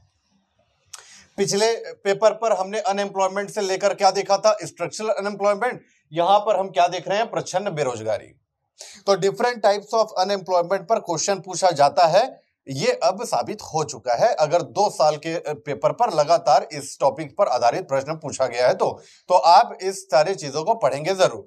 प्रचंड बेरोजगारी अगर आप कहें तो इसका क्या तात्पर्य है? इसका तात्पर्य यह है कि अगर कोई व्यक्ति रोज़गार में है और उसके इस रोज़गार की भागीदारी से इकोनॉमी में किसी प्रकार का आउटपुट नहीं दिखता, अर्थव्यवस्था पर किसी भी प्रकार का रिज़ल्ट नहीं दिखता तो उसे आप क्या कहेंगे? प्रच्छन्न बेरोजगारी या डिसगाइज अनएम्प्लॉयमेंट सामान्य तौर पर यह हमें कहाँ देखने को मिलता है? तो भारत के कृषि क्षेत्र पर प्रचंड बेरोजगारी प्रिवलेंट है या फिर फैली हुई है। जब किसी जगह पर ज़रूरत से ज़्यादा लोग रोज़गार पर चले आते हैं या ज़रूरत से ज़्यादा लोग काम करने लगते हैं तो इस प्रकार की बेरोजगारी हमें देखने को मिलती है। ठीक है? चलिए, आगे बढ़ते हैं। How does N S S O measures national income in India Bharatvarsh में एन एन एस ओ देखिए, ये रहा स्पेलिंग मिस्टेक तो इसलिए क्या कहा गया है? अगर स्टील प्लांट को स्टील का पौधा भी अगर लिख दिया जाए तो आप दावा आपत्ति नहीं कर सकते। ठीक है? तो ये सारा चीज़ अंडरस्टूड है, आप इसे एडजस्ट करेंगे। ऐसा आपसे आयोग उम्मीद करता है। चलिए, भारत में एनएसएसओ किस तरह से राष्ट्रीय आय की गणना करता है? तो देखिए एनएसएसओ क्या करता है? आंकड़े इकट्ठा करता है। ठीक है? हर प्रकार के आंकड़े अलग अलग विभागों पर से लेकर आता है और उन आंकड़ों के माध्यम से देश की जीडीपी निकाली जाती है कैलकुलेट की जाती है। और वो जीडीपी कैलकुलेट करने का जो सबसे प्रचलित इक्वेशन है, वो क्या है? एक्सपेंडिचर मेथड या फिर व्यय विधि। अर्थव्यवस्था पर अलग अलग जरूरतों पर जो खर्च किए जा रहे हैं, उन खर्चों को जोड़ लिया जाए तो वो एक्सपेंडिचर से निकाली गई जीडीपी या एक्सपेंडिचर व्यय विधि से निकाली गई राष्ट्रीय आय कहलाती है।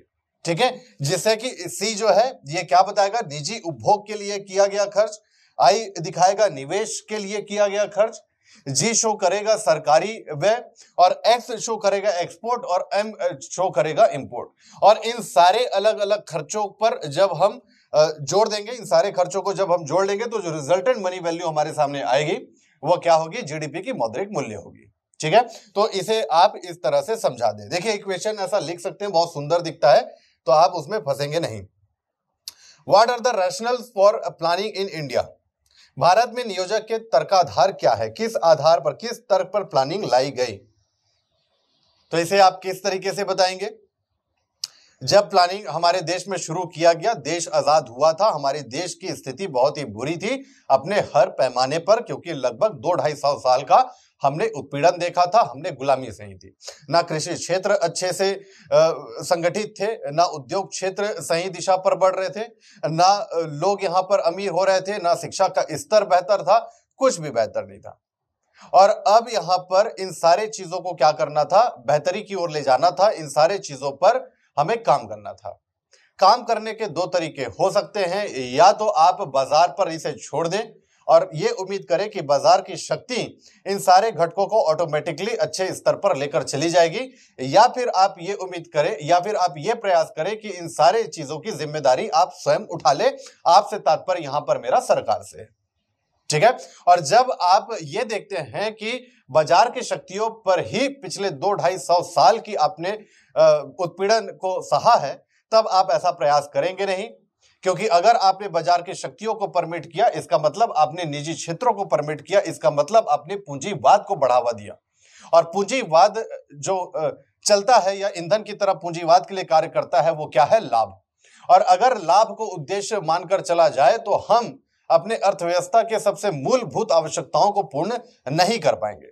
इसलिए प्लानिंग का तर्क रखा गया कि हम अपने देश को हर एक तरफ़ से मज़बूत करेंगे। प्राथमिक स्तर, द्वितीय क्षेत्र, तृतीय क्षेत्र सबको मज़बूत करेंगे। उसके लिए क्या करना होगा? सरकार को ये ज़िम्मेदारी लेनी होगी और प्लानिंग बनाना होगा, एक लक्ष्य सेट करना होगा और उस लक्ष्य तक कैसा पहुँचा जाए उसके लिए विभिन्न प्रकार की योजनाएँ लाई जाएगी। ठीक है? तो इसलिए हमने प्लानिंग लाया और यही तर्क का आधार था हमारे देश में नियोजन को लेकर। तो ये सारी चीज़ आप बता देंगे। ठीक है? चलिए, आगे बढ़ते हैं। व्हाट इज़ डेमोक्रेटिक सोशलिज्म इसके बारे में आप पॉलिटी पर ज़्यादा बेहतर तरीके से समझेंगे, क्योंकि अगर यहाँ पर हम चलेंगे तो ये पॉलिटी वाले पार्ट पर चलाएगा। देखिए सोशलिज्म का स्पेलिंग यहाँ पर गलत है तो ये आप लोग एडजस्ट करेंगे, ठीक है? ये मैंने गलत नहीं किया है, ये क्वेश्चन पेपर डायरेक्ट आयोग का है तो गलती वहीं से हुई है। अब हम सेक्शन थर्ड पर चले जाते हैं, और यहाँ पर फिर से आपको फ़िज़िकल पॉलिसी से रिलेटेड क्वेश्चन दिखेगा। आर्थिक क्रिया के स्तर को प्रभावित करने हेतु सार्वजनिक व्यय का प्रयोग किस प्रकार किया जा सकता है? अब ये क्वेश्चन आपसे क्या कह रहा है? आर्थिक क्रिया कहने का तात्पर्य क्या है? वही लोगों की आय कैसे होगी? एक्सपोर्ट इंपोर्ट सारी चीज़। तो विशेष साइकिल वर्चुअल साइकिल पर अगर हम जाएँ तो आप किस किस चीज़ों के बारे में बताएँगे कि देश में उत्पादन कैसे बढ़ेगा सार्वजनिक वैसे ये अगर आपको पता है तो पहला पॉइंट इसी का आप बना देंगे। ठीक? दूसरा पॉइंट कि सरकार के खर्चों से रोज़गार को कैसे बढ़ाया जा सकता है, अगर ये आपको पता है तो दूसरे पॉइंट के तौर पर आप लिख देंगे। फिर सरकार के व्यय से कैसे गरीबी दूर की जा सकती है, ये आपको पता है तो ऐड कर दीजिए। सरकार के व्यय से किस प्रकार से निवेश को बढ़ावा दिया जा सकता है, देश में इसके बारे में लिख दीजिए। ठीक? सरकार के व्यय से किस प्रकार से एक्सपोर्ट या निर्यात को बढ़ावा दिया जा सकता है, इसके बारे पर आप लिख दीजिए। ऐसे ही छह सात पॉइंट आप लिख दीजिए और ये क्वेश्चन क्या हो जाएगा? टोटली कंप्लीट हो जाएगा। ठीक है? चलिए, आगे बढ़ते हैं। अब सेक्शन फोर पर आपको प्रश्न जो पूछा गया है, वो मेक इन इंडिया योजना से। देखिए, आपने जनधन पर देखा। अब मेक इन इंडिया पर देखा तो मेक इन इंडिया आप कहाँ पढ़ेंगे, जहाँ पर आप बेरोजगारी कैसे कम की जाए या रोज़गार कैसे बढ़ाया जाए, इससे संबंधित जब आप योजना या स्कीम देखेंगे, वहाँ पर आप इसे भी पढ़ेंगे। आप देखिए, इसे अगर आप बस ऐसे ही जानते हैं, बहुत ज़्यादा डिटेल आपको नहीं पता तो फिर आप एक बेहतर उत्तर कैसे लिखेंगे, वो एक तरीका मैं आप लोगों को इस क्वेश्चन के माध्यम से समझाना चाहता हूँ। मेक इन इंडिया नाम सुन के ही क्या लग रहा है कि देश के अंदर या भारत के अंदर ही वस्तुओं का उत्पादन करना। ठीक है? तो चलिए इसी पॉइंट से हम सारी चीज़ों को शुरू करते हैं। तो सबसे पहले उद्देश्य पर जब आप बात करेंगे तो पहला उद्देश्य क्या होगा? कि भारत को मेक इन इंडिया का उद्देश्य क्या होगा? कि भारत को वैश्विक मंच पर एक मैन्युफैक्चरिंग हब की तरह स्थापित करना। पहला उद्देश्य, भारत को वैश्विक मंच में एक मैन्युफैक्चरिंग हब की तरह स्थापित करना। ठीक है? यही तो इसका ऑब्जेक्टिव है कि देश के अंदर में उत्पादन करना। अब देखिए, दूसरा आप पॉइंट कैसे ऐड कर सकते हैं? अब मैन्युफैक्चरिंग हब कैसे आप डेवलप करेंगे? जब आपके देश में क्या होगा? निवेश होगा तो ये दूसरा उद्देश्य होगा कि मेक इन इंडिया का उद्देश्य क्या है? कि घरेलू एवं बाहरी निवेश को, निवेशकों को आकर्षित करना। ठीक है? चलिए।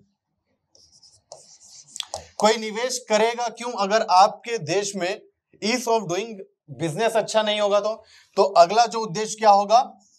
कि भारत में ईज ऑफ़ डूइंग बिज़नेस को लेकर जो भी सूचकांक है, उसे बेहतर रैंक प्रदान करना अंतरराष्ट्रीय स्तर पर।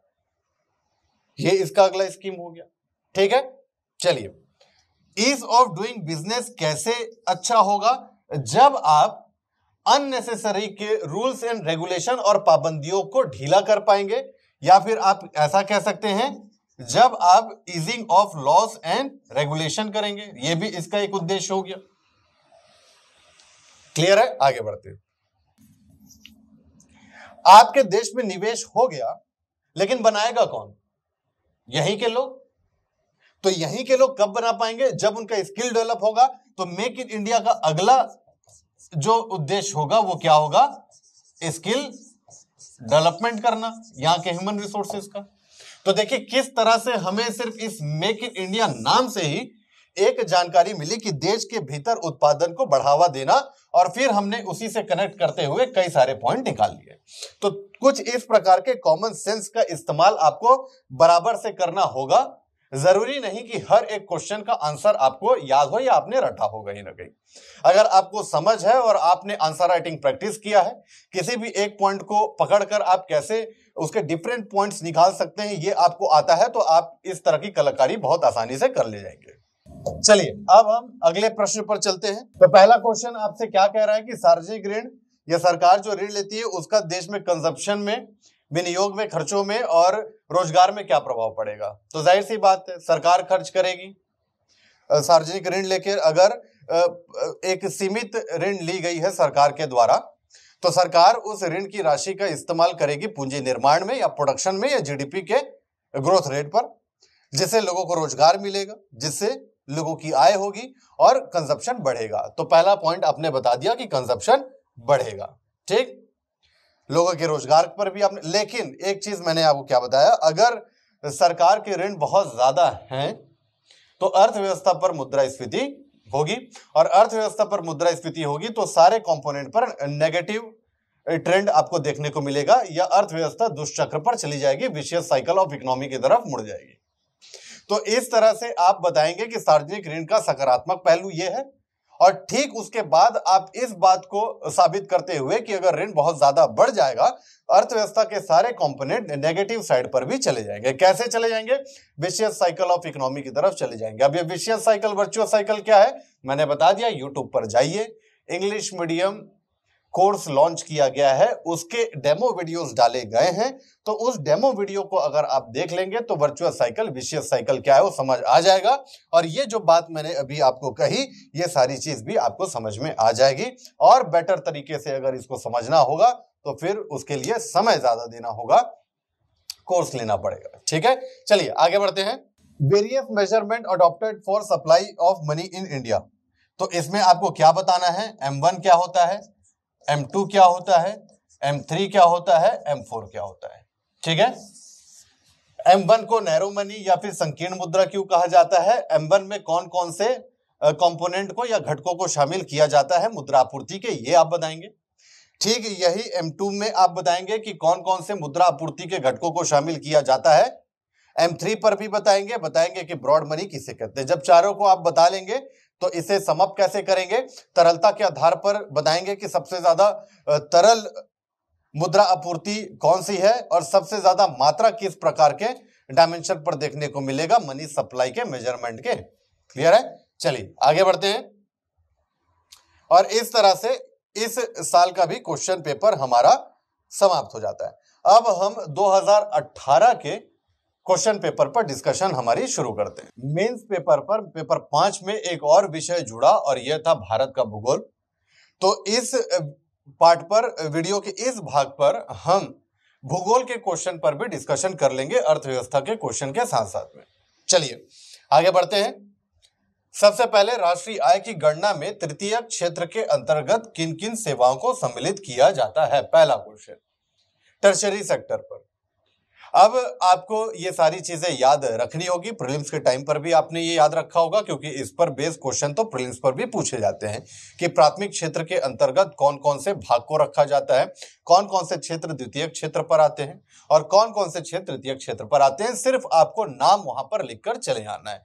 जैसे कि आपको क्या क्या वहाँ पर बताना होगा कि टर्शरी सेक्टर के अंदर क्या क्या आता है। तो आप बताएँगे कि trade hotel and restaurant tertiary sector के अंडर है। ट्रांसपोर्ट, स्टोरेज एंड कम्युनिकेशन, ये भी इसी के अंतर्गत आते हैं। फिर बैंक, फाइनेंस, रियल इस्टेट, ये भी टर्शरी सेक्टर के अंडर आते हैं और पब्लिक एडमिनिस्ट्रेशन भी इसी टर्शरी सेक्टर के अंडर आते हैं। याद करने वाली चीज़ है तो इसे आप याद कर लेंगे। ठीक है? चलिए लिबरलाइजेशन से आप क्या समझते हैं, तीस शब्दों में बताना है। उदारीकरण से आप क्या समझते हैं? तो क्या समझते हैं आप? तो जब अर्थव्यवस्था पर आर्थिक सुधार लाया गया था उन्नीस सौ इक्यानवे में तो एलपीजी रिफॉर्म में सबसे पहले जो शब्द आपको दिखा था वो था लिबरलाइजेशन और एल से उसे डिनोट किया जा रहा था। ठीक है? लिबरलाइजेशन कहने का तात्पर्य यह था कि जो लाइसेंस राज और परमिट राज की वजह से हमारा जो देश है, वो एक पिछड़ा हुआ देश बनता जा रहा था, उसकी जो गति थी आगे बढ़ने की बहुत ही धीमी हो गई थी, क्योंकि बहुत ज़्यादा नियम कायदे कानून का पालन करना पड़ता था व्यापार शुरू करने और व्यापार को संचालित करने के लिए भी। और जब यह लिबरलाइजेशन लाया गया तो एक्चुअल में क्या किया गया? इन्हीं आवश्यकता से अधिक कानूनों को, नियमों को हटाया गया। प्राइवेट क्षेत्र को थोड़ी सी आज़ादी दी गई और जो पब्लिक सेक्टर यूनिट थे, उन्होंने अपने हाथ को थोड़ा सा पीछे की ओर खींचा और सरकार के जो नियंत्रण थे, उसमें भी ढिलाई आई। और यही सारी कहानी को क्या कहा जाता है? लिबरलाइजेशन ठीक है? तो ये आप यहाँ पर बता देंगे।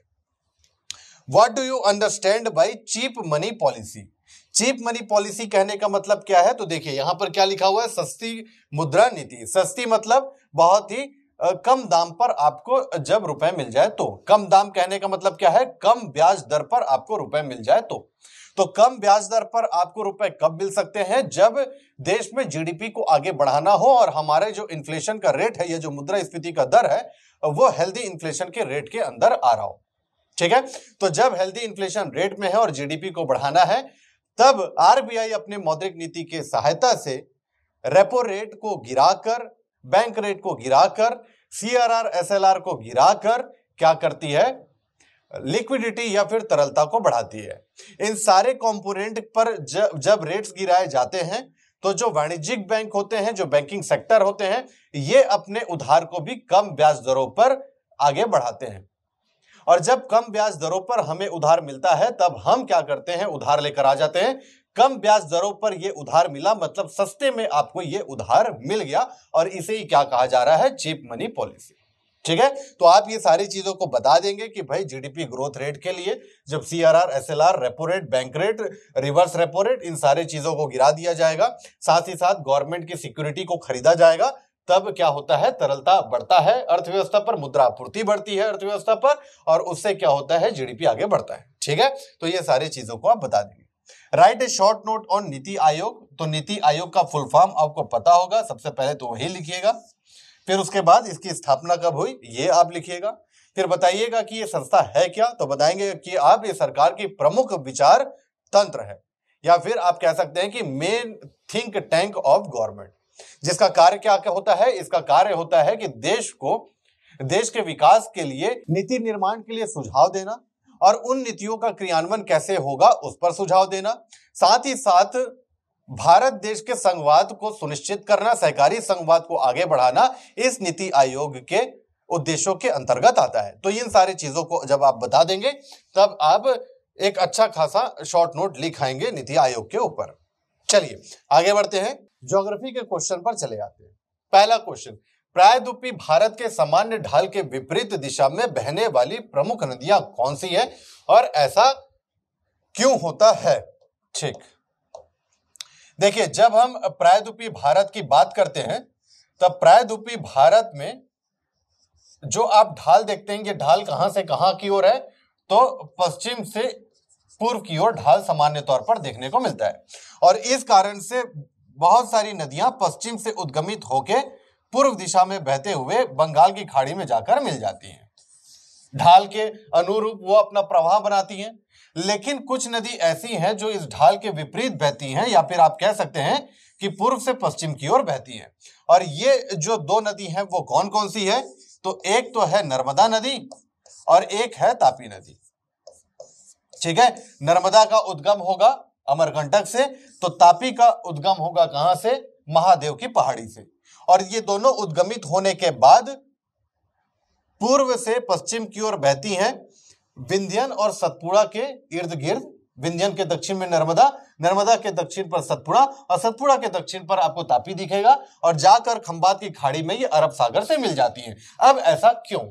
क्योंकि ये नदियाँ भ्रंश घाटी को अपना मार्ग बनाकर आगे बहती हैं। तो ये भ्रंश घाटी के बारे में आप ज़रूर लिखेंगे तो दो, चार, दो लाइन, एक लाइन आप, एक दो लाइन इसके बारे में लिख सकते हैं। क्या? कि सिल्यूरियन पेलोजोइक महाकल्प के सिल्यूरियन युग पर इस क्षेत्र पर भ्रंश घाटी का निर्माण हुआ था, जिसे ये दोनों नदियाँ अपने मार्ग के तौर पर उपयोग में लाती हैं और विपरीत दिशा पर बहती है। प्रायद्वीपीय भारत की जो सामान्य ढाल है, उसके विपरीत दिशा पर यह प्रवाह करती है। लेकिन मैप प्रेजेंटेशन करना अनिवार्य है, ज्योग्राफी के पेपर पर ये आप कंठस्थ कर ले, अपने मनस पटल पर अंकित कर ले। ठीक है कि ये ज्योग्राफी का अगर पेपर है तो मैप बनाना होगा। चलिए, आगे बढ़ते हैं। करेवा जमाओ। अगला क्वेश्चन है, करेवा डिपॉजिट कहाँ पर? ये कहाँ देखने को मिलेगा? तो ये आपको हिमालय पर देखने को मिलेगा, जम्मू कश्मीर में देखने को मिलेगा। ये डिपॉजिट किस लिए फ़ेमस है? तो सेफ्रॉन की खेती के लिए ये फ़ेमस है। ठीक है? तो इसके बारे में आप क्या बताएँगे? कि जब हिमालय का उत्थान हो रहा था और पीर पंजल के उत्थान से पहले इस क्षेत्र पर झील निर्मित हुई थी और उस झील के तल पर जमा हुए थे डिपॉजिट्स हुए थे मिट्टियों के भी और उस झील पर जो भी प्राणी रहते थे, उनके जीवाश्मों के भी। जब पीर पंजल का उत्थान हुआ तो इस झील का पानी बाहर चला गया, क्योंकि धरती अब ऊपर उठ गई और ये जो तल पर आपको जमाव देखने को मिला था, मिट्टियों का और जीवाश्मों का, ये एक परत की तरह निर्मित हो गया, एक मृदा की तरह निर्मित हो गया और ये बहुत ही ज़्यादा सुटेबल हो गया, उपयुक्त हो गया किसके लिए? सेफ्रॉन की खेती के लिए, केसर की खेती के लिए। ठीक है? तो ये करेवा डिपॉजिट के बारे में आप बता लेंगे। चलिए, आगे बढ़ते हैं। भारत में किस दशक में जनसंख्या वृद्धि नकारात्मक रही और क्यों?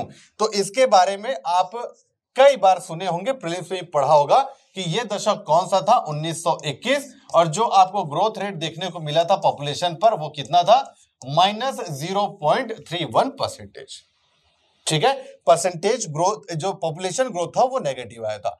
फिर उसके बाद एक क्वेश्चन आप लोगों से पूछ लिया गया है वाई तो वाई जब आपसे पूछा जाए तो सबसे पहले तो आप क्या बताएँगे कि इस दौर पर जो बर्थ रेट था, ये क्या था?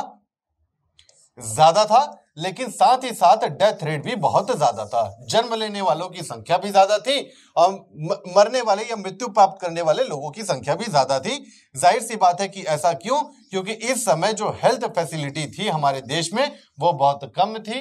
जो जागरूकता होनी चाहिए परिवार नियोजन के लिए, वो जागरूकता की कमी थी। और सबसे बड़ी बात कि इसी दौर पर हमें एक महामारी देखने को मिली थी। एक पेंडेमिक देखने को मिला था, जिससे भी कई लोगों की जाने गई थी, और इस दौर पर हमने सूखा को भी देखा था, फेमाइन को भी देखा था। तो इन चार कारणों से, वजह से इस दशक पर हमें पॉपुलेशन ग्रोथ रेट पर नेगेटिव ग्रोथ रेट देखने को मिला था। ठीक है? सामान्य तौर पर लोग हेल्थ फैसिलिटी एंड अवेयरनेस को मेंशन कर लेते हैं, लेकिन इन्फ्लुएंजा और फेमाइन को मेंशन नहीं कर पाते तो उसे भी आप मेंशन करेंगे। चलिए, आगे बढ़ते हैं। वाई अगर पूछा गया है तो पॉइंट पर लिखना है। ब्लू रेवोल्यूशन नाम सुन के लग गया क्या? कि ये पानी से रिलेटेड है तो मछली उत्पादन या फिर जो जल संसाधनों को लेकर, जल संसाधनों पर आधारित जो उत्पाद है, उनके वृद्धि को लेकर जो योजना बनाई जा रही है, उसे ही ब्लू रेवोल्यूशन के अंतर्गत लिया जाता है, ठीक है? तो ये कृषि रिलेटेड वाले टॉपिक से आएगा ज्योग्राफी के। तो ज्योग्राफी जब आप देखेंगे तो उसमें कृषि एक चैप्टर एक कृषि एक पार्ट है, एक टॉपिक है, उससे ये कनेक्ट हो जाता है सीधे तौर पर। ज्योग्राफी के लिए आपको विशेष तौर पर किस पे ध्यान देना है? देखिए, भारत का भूगोल विषय अगर आप बांटे तो physical geography economic geography and human geography ऐसे तीन भागों पर बांट सकते हैं। सबसे ज़्यादा ध्यान आपको फ़िज़िकल ज्योग्राफी पर दे रहा है। सबसे ज़्यादा क्वेश्चन इसी से पूछे जाएँगे और सबसे ज़्यादा इंटरेस्टिंग भी यही है। यहीं पर आपको फ़िज़िकल डिवीज़न या भौतिक विभाजन देखने को मिलेगा। इसी के अंतर्गत आप अपवाद तंत्र को पढ़ेंगे, नदियों को आप पढ़ेंगे। इसी के अंदर आप जलवायु पढ़ेंगे। इसी के अंदर आप वनस्पति पढ़ेंगे। इसी के अंदर आप मृदा की संरचना पढ़ेंगे, मृदा पढ़ेंगे। इसी के अंदर आप चट्टानों को पढ़ेंगे। क्लियर है? तो इन सारे टॉपिक को आप जब डील करेंगे तो फ़िज़िकल ज्योग्राफी के अंडर ये आते हैं। उसके बाद आपको इकोनॉमिक ज्योग्राफी पढ़ना है, जिसमें आप ट्रांसपोर्ट उद्योग और मिनरल रिसोर्सेस इन सारे चीज़ों पर आप अपनी पकड़ बनाएँगे। ठीक है? चलिए, आगे बढ़ते हैं। भारत में मैंग्रोव या कच्छ वनस्पति का वितरण कहा है? तो देखिए ये कहाँ से आया हुआ है। तो ये वेजिटेशन या वनस्पति वाले टॉपिक से आया हुआ है। मैंग्रोव वेजिटेशन लगभग हर उस राज्य में आपको मिलेगा जो एक तटीय क्षेत्र निर्मित करते हैं, तटीय भाग बनाते हैं भारत के। या फिर तटों पर स्थित राज्यों में आपको ये मैंग्रोव वनस्पति देखने को मिलेगा। ये पश्चिम बंगाल पर देखने को मिलेगा, सुंदरबन आपने सुना होगा, उड़ीसा पर देखने को मिलेगा भितरकनिका फिर ऐसे ही आप नीचे चले आएँगे तो आंध्रा में देखने को मिलेगा, तमिलनाडु पर देखने को मिलेगा, केरल पर देखने को मिलेगा, कर्नाटक में, गोवा में, और साथ ही साथ ये गुजरात में भी आपको देखने को मिलेगा। ठीक है? तो इस प्रकार से पश्चिम से पूर्व या पूर्व से पश्चिम हर उस राज्य पर देखने को मिलेगा जिनके पास अपना एक तट है। ठीक है? चलिए। प्राकृतिक रबर के उत्पादक क्षेत्र कौन से हैं? तो देखिए, ये हमें नीलगिरी वाला क्षेत्र जो है, वेस्टर्न घाट और ईस्टर्न घाट जहाँ पर आकर मिल जाते हैं, पूर्वी घाट और पश्चिम घाट जहाँ कर मिल जाते हैं वहाँ पर प्लांटेशन क्रॉप्स होते हैं और यहीं पर आपको रबर का उत्पादन भी देखने को मिलेगा। सबसे ज़्यादा केरल पर आपको ये उत्पादन देखने को मिलेगा। लगभग 80 से पचासी प्रतिशत रबर प्रोडक्शन हमें सिर्फ़ केरल से देखने को मिलता है और फिर तमिलनाडु और कर्नाटक से देखने को मिलेगा। तो क्षेत्र अगर पूछ लिया जाएगा, भौतिक भाग पर अगर आप बताएँगे तो आप नीलगिरी वाला क्षेत्र कह सकते हैं। राज्यों के आधार पर अगर आप बताएँगे तो केरल, तमिलनाडु और कर्नाटक आप मेंशन कर सकते हैं। ये आप कहाँ पढ़ेंगे? तो ये भी आप कृषि पर पढ़ेंगे, जब आप उन कॉमर्शियल क्रॉप्स के बारे में पढ़ेंगे और साथ ही साथ जब आप वेस्टर्न घाट और ईस्टर्न घाट पढ़ेंगे प्रायद्वीपी भारत के अंदर, तब भी आपको इन सारे चीज़ों से रूबरू होना पड़ेगा। इन सारी चीज़ों को आप देख ले जाएँगे, समझ ले जाएँगे। ठीक है? चलिए, आगे बढ़ते हैं। क्वेश्चन है, रेपो रेट एवं रिवर्स रेपो रेट में अंतर बताएँ। सेक्शन टू ठीक है? करंट पैटर्न पर आधारित है ये। ये जो आप सेक्शन वन सेक्शन टू देख रहे हैं तो 2018 पर नए पैटर्न की शुरुआत कर दी गई थी। चलिए तो repo rate and reverse repo rate इस पर हमने पहले भी चर्चा कर ली है। मनी मॉनिटरी पॉलिसी जब आप पढ़ेंगे तो आपको ये सारी चीज़ें दिख जाएँगी। अंतर पूछा गया है, कॉलम बनाओ, अंतर लिखो। अंतर जब भी क्वेश्चन अंतर आधारित क्वेश्चन जब भी आपके सामने आएगा तो आप कॉलम का इस्तेमाल करेंगे। क्योंकि कॉलम जब आप बनाते हैं तो उसमें पहला पॉइंट जो आप एक तरफ़ लिखेंगे राइट साइड में, और लेफ़्ट साइड में दूसरी चीज़ लिखेंगे। तो पहले पॉइंट पर देख के ही जांचकर्ता को दिख जाएगा कि अच्छा पहले पॉइंट का अंतर सामने वाले का ये है। मतलब आजू बाजू खड़ा कर देने से अंतर काफ़ी बेहतर दिखता है। पैराग्राफ में अगर आप अंतर लिख देंगे तो पहले वाले टॉपिक पर या रेपो रेट का जो पहला पॉइंट आपने लिखा होगा, उसमें क्या भिन्नता है रिवर्स रेपो रेट में तो उसे खोजना पड़ेगा। देखना होगा कि रिवर्स रेपो रेट के पैराग्राफ में वो कहाँ पर आपने मेंशन किया है। लेकिन अगर आप कॉलम के साथ में ही लिख देंगे तो ये सारी चीज़ें एक दूसरे के आजू बाजू दिख जाएगी और बहुत ही इजी और बहुत ही सुंदर हो जाएगा आपका क्वेश्चन आंसर। तो इसलिए जब भी आप डिफरेंस वाली कहानी लिखें तो आप कॉलम का इस्तेमाल करेंगे पैराग्राफ का नहीं। फिर उसके बाद क्वेश्चन फिर से अनएम्प्लॉयमेंट को लेकर तो इस पर भी हमने काफ़ी चर्चा कर ली है। चलिए क्वेश्चन भाग टू पर आते हैं। ज्योग्राफी का क्वेश्चन है कि शिमला और उटकमंड की ऊंचाई लगभग समान है। फिर क्यों शिमला जाड़े में उटकमंड की अपेक्षा सर्द और गर्मी में अपेक्षाकृत गर्म रहता है? दो कारण।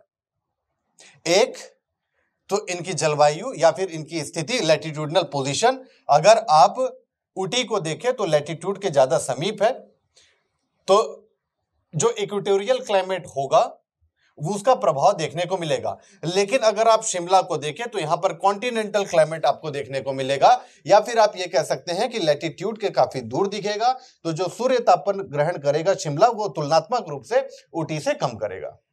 एक ये कारण हो गया, दूसरा हो गया समुद्र से दूरी। अगर आप ऊटी को देखते हैं तो वहाँ पर आपको क्या दिखेगा कि समुद्र से समीप में है, शिमला की तुलना पर। अब समुद्र के अगर समीप है तो ऊटी पर किसी भी प्रकार के जो जलवायु का निर्माण होने वाला है, वो तीव्र स्थिति पर नहीं होने वाला है। क्योंकि यहाँ पर हमने ये देखा है कि जब डिसबैलेंस होता है सी ब्रिज और लैंड ब्रिज वाले कंसेप्ट पर तो हमें क्या दिखता है कि अगर जो सागर वाला भाग है, बहुत ज़्यादा ठंडा हो जाए तो क्या होगा? वहाँ से पवने क्या हो जाएँगी? धरती की ओर चली जाएँगे। और अगर धरती वाला भाग बहुत ठंडा हो जाएगा तो धरती से हवाएँ क्या होंगी? वो चली जाएँगी सागर की ओर।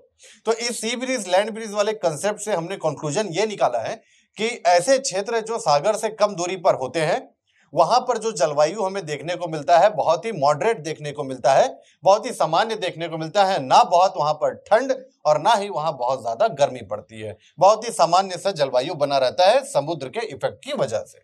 ठीक है? भारत में अधिक शिशु मृत्यु दर के क्षेत्र कौन कौन से हैं? तो ये आपको कहाँ पर मिलेगा? ये आपको गवर्नमेंट की वेबसाइट पर मिलेगा या एसआरएस के रिपोर्ट पर देखने को मिलेगा। ठीक है? और इस रिपोर्ट पर अभी वर्तमान पर जो आईएमआर है, वो कितनी है? 32 पर थाउज़ेंड लाइव बर्थ प्रति हज़ार जीवित जन्मों में 32 की संख्या दिख रही है शिशु मृत्यु शिशु मृत्यु दर की। ठीक है? जो सबसे ज़्यादा यहाँ पर क्षेत्र है, वो कौन कौन से हैं? लगभग सेंटर वाला पार्ट है, एक बार आप क्रॉस चेक कर लेंगे। जैसे एमपी यूपी तो ये, वो क्षेत्र है, ये वो राज्य हैं जहाँ पर आईएमआर काफ़ी ज़्यादा है। अड़तालीस, तिरालीस, ऐसे हमें देखने को मिलेंगे। भारत के पश्चिमी अपतटीय पेट्रोलियम के क्षेत्रों का उल्लेख कीजिए। जब आप एनर्जी रिसोर्सेज पढ़ेंगे, ऊर्जा संसाधन पढ़ेंगे, तब आप पेट्रोलियम को भी पढ़ेंगे कोल पढ़ेंगे कोल के बाद आप क्या पढ़ेंगे? पेट्रोलियम पेट्रोलियम जब आप पढ़ेंगे तो पेट्रोलियम क्षेत्रों के बारे में आप पढ़ेंगे। और अब तटीय कहने का मतलब क्या है? कि तट से बाहर ऑफ़ पानी में, ज़मीन के अंदर नहीं, ज़मीन के बाहर। तो ये वेस्टर्न साइड पर सबसे फ़ेमस हमें कौन सा दिखता है? महाराष्ट्र का मुंबई हाई। तो उसके बारे में आपको यहाँ पर मेंशन करना है। जो अभी पैटर्न दिया गया है ज्योग्राफी को लेकर, यही पैटर्न आपको फॉलो करना है। भले आपके पास एनालिसिस के लिए एक ही वर्ष का पेपर है। क्योंकि जो पैटर्न फॉलो किया गया, जो पैटर्न अप्लाई किया गया सीजीपीएससी के द्वारा, यही पैटर्न उन स्टेट्स के पीसीएस पर भी किया जाता है पीएससी पर किया जाता है, जहाँ पर मेंस में भूगोल काफ़ी लंबे समय से जुड़ा हुआ था। और उसी को आधार लेकर या उसी तरीके का पैटर्न इस सीजीपीएससी के मेंस में भी ज्योग्राफी को लेकर फॉलो किया गया है। तो आप भी यही पैटर्न को फॉलो करिएगा। जिन जिन टॉपिक से क्वेश्चन पूछे गए हैं, उन उन टॉपिक पर आपको विशेष ध्यान देना हो चलिए आगे बढ़ते हैं और तीसरे खंड पर पहुँचते हैं, जहाँ पर सौ शब्दों पर आपको उत्तर लिखना होगा। आठ अंक मिलेंगे। केंद्र के गैर कर राजस्व। गैर कर राजस्व तो राजकोषीय नीति और गैर कर राजस्व आपको कहाँ पर देखने को मिलेगा? राजस्व प्राप्ति में। रेवेन्यू रिसिप्ट में। और नॉन टैक्स के अंदर क्या क्या आते हैं? तो सबसे पहला, सरकार के द्वारा वस्तु एवं सेवा के बिक्री से प्राप्त आय। ठीक? सरकार अगर कहीं पर निवेश की है तो उसके बदले सरकार को प्राप्त लाभांश। ठीक है? तीसरा, अगर किसी प्रकार का अनुदान सरकार को प्राप्त हुआ है ग्रांट्स तो ये भी क्या होंगे? नॉन टैक्स रेवेन्यू के अंदर चले आएँगे सरकार के गैर कर राजस्व के अंतर्गत चले आएँगे। उसके बाद फिर से सार्वजनिक व्यय में वृद्धि के प्रमुख कारणों पर चर्चा कीजिए। सार्वजनिक व्यय अर्थात राजस्व और पूंजीगत व्यय की बात हो रही है। ठीक है? तो अगर सार्वजनिक व्यय बढ़ा हुआ है और सार्वजनिक व्यय में अगर राजस्व व्यय बढ़ा हुआ है तो राजस्व व्यय के अंदर कौन कौन से पार्ट आते हैं? तो ब्याज भुगतान आता है। सब्सिडी आता है, पेंशन आता है, सैलरी आता है, समाज कल्याणकारी योजनाएँ आते हैं। ठीक है? तो आप क्या बताएँगे कि सरकार के सार्वजनिक व्यय अगर बढ़े हैं और उसका कारण अगर राजस्व व्यय है तो सबसे पहले हम ये मान सकते हैं कि सरकार के ऊपर लाइबिलिटी बहुत ज़्यादा है देता बहुत ज़्यादा है, जिसकी वजह से सरकार को ब्याज भुगतान बहुत ज़्यादा करना पड़ रहा है। या फिर सरकार समाज कल्याणकारी योजनाओं पर अधिक व्यय कर रही है, जैसे कि सब्सिडी या फिर स्कीम्स। और अगर पूंजीगत व्यय के बढ़ने से सरकार का सार्वजनिक व्यय बढ़ा हुआ है, इसका तात्पर्य यह है कि सरकार पूंजी निर्माण पर या फिर उत्पादन पर अधिक व्यय कर रही है, रोज़गार के निर्माण पर अधिक व्यय कर रही है। ठीक है? तो ये आप इस तरह से इसे बताकर चले आएँगे। तो ये बेसिक कंसेप्ट अगर आपका क्लियर है ना तो आप हर प्रकार के क्वेश्चन को बहुत ही खूबसूरती से डील कर सकते हैं। ठीक है? चलिए, आगे बढ़ते हैं। ज्योग्राफी का एक क्वेश्चन हमारे सामने चला आता है। What are the favourable geographical condition for canal irrigation तो सिंचाई एक टॉपिक है ज्योग्राफी पर, उस पर आधारित ये प्रश्न है। नॉर्थ इंडिया में ऐसे कौन से सुटेबल कंडीशन है जिसकी वजह से हम वहाँ पर नहरों द्वारा सिंचाई के लिए अनुकूल भौगोलिक परिस्थितियाँ देखते हैं। तो सबसे पहले तो आप क्या बताएँगे? सबसे पहला कि इस क्षेत्र पर सदा नीरा या बारह मासी नदियाँ देखने को मिलती है पेरेनियल रिवर जैसे गंगा। ठीक है? मतलब हमेशा पानी वहाँ पर पर्याप्त मात्रा में होगा, जिसकी वजह से आप नहर काट देंगे तो नहरों पर आप वाटर सप्लाई कर सकते हैं। ठीक है? वाटर सप्लाई एक और तरीके से यहाँ पर की जा सकती है। तो दूसरा पॉइंट आप यहाँ पर लिख देंगे कि यहाँ पर बाँध निर्मित किए गए हैं बहुत ज़्यादा, जिससे क्या होगा?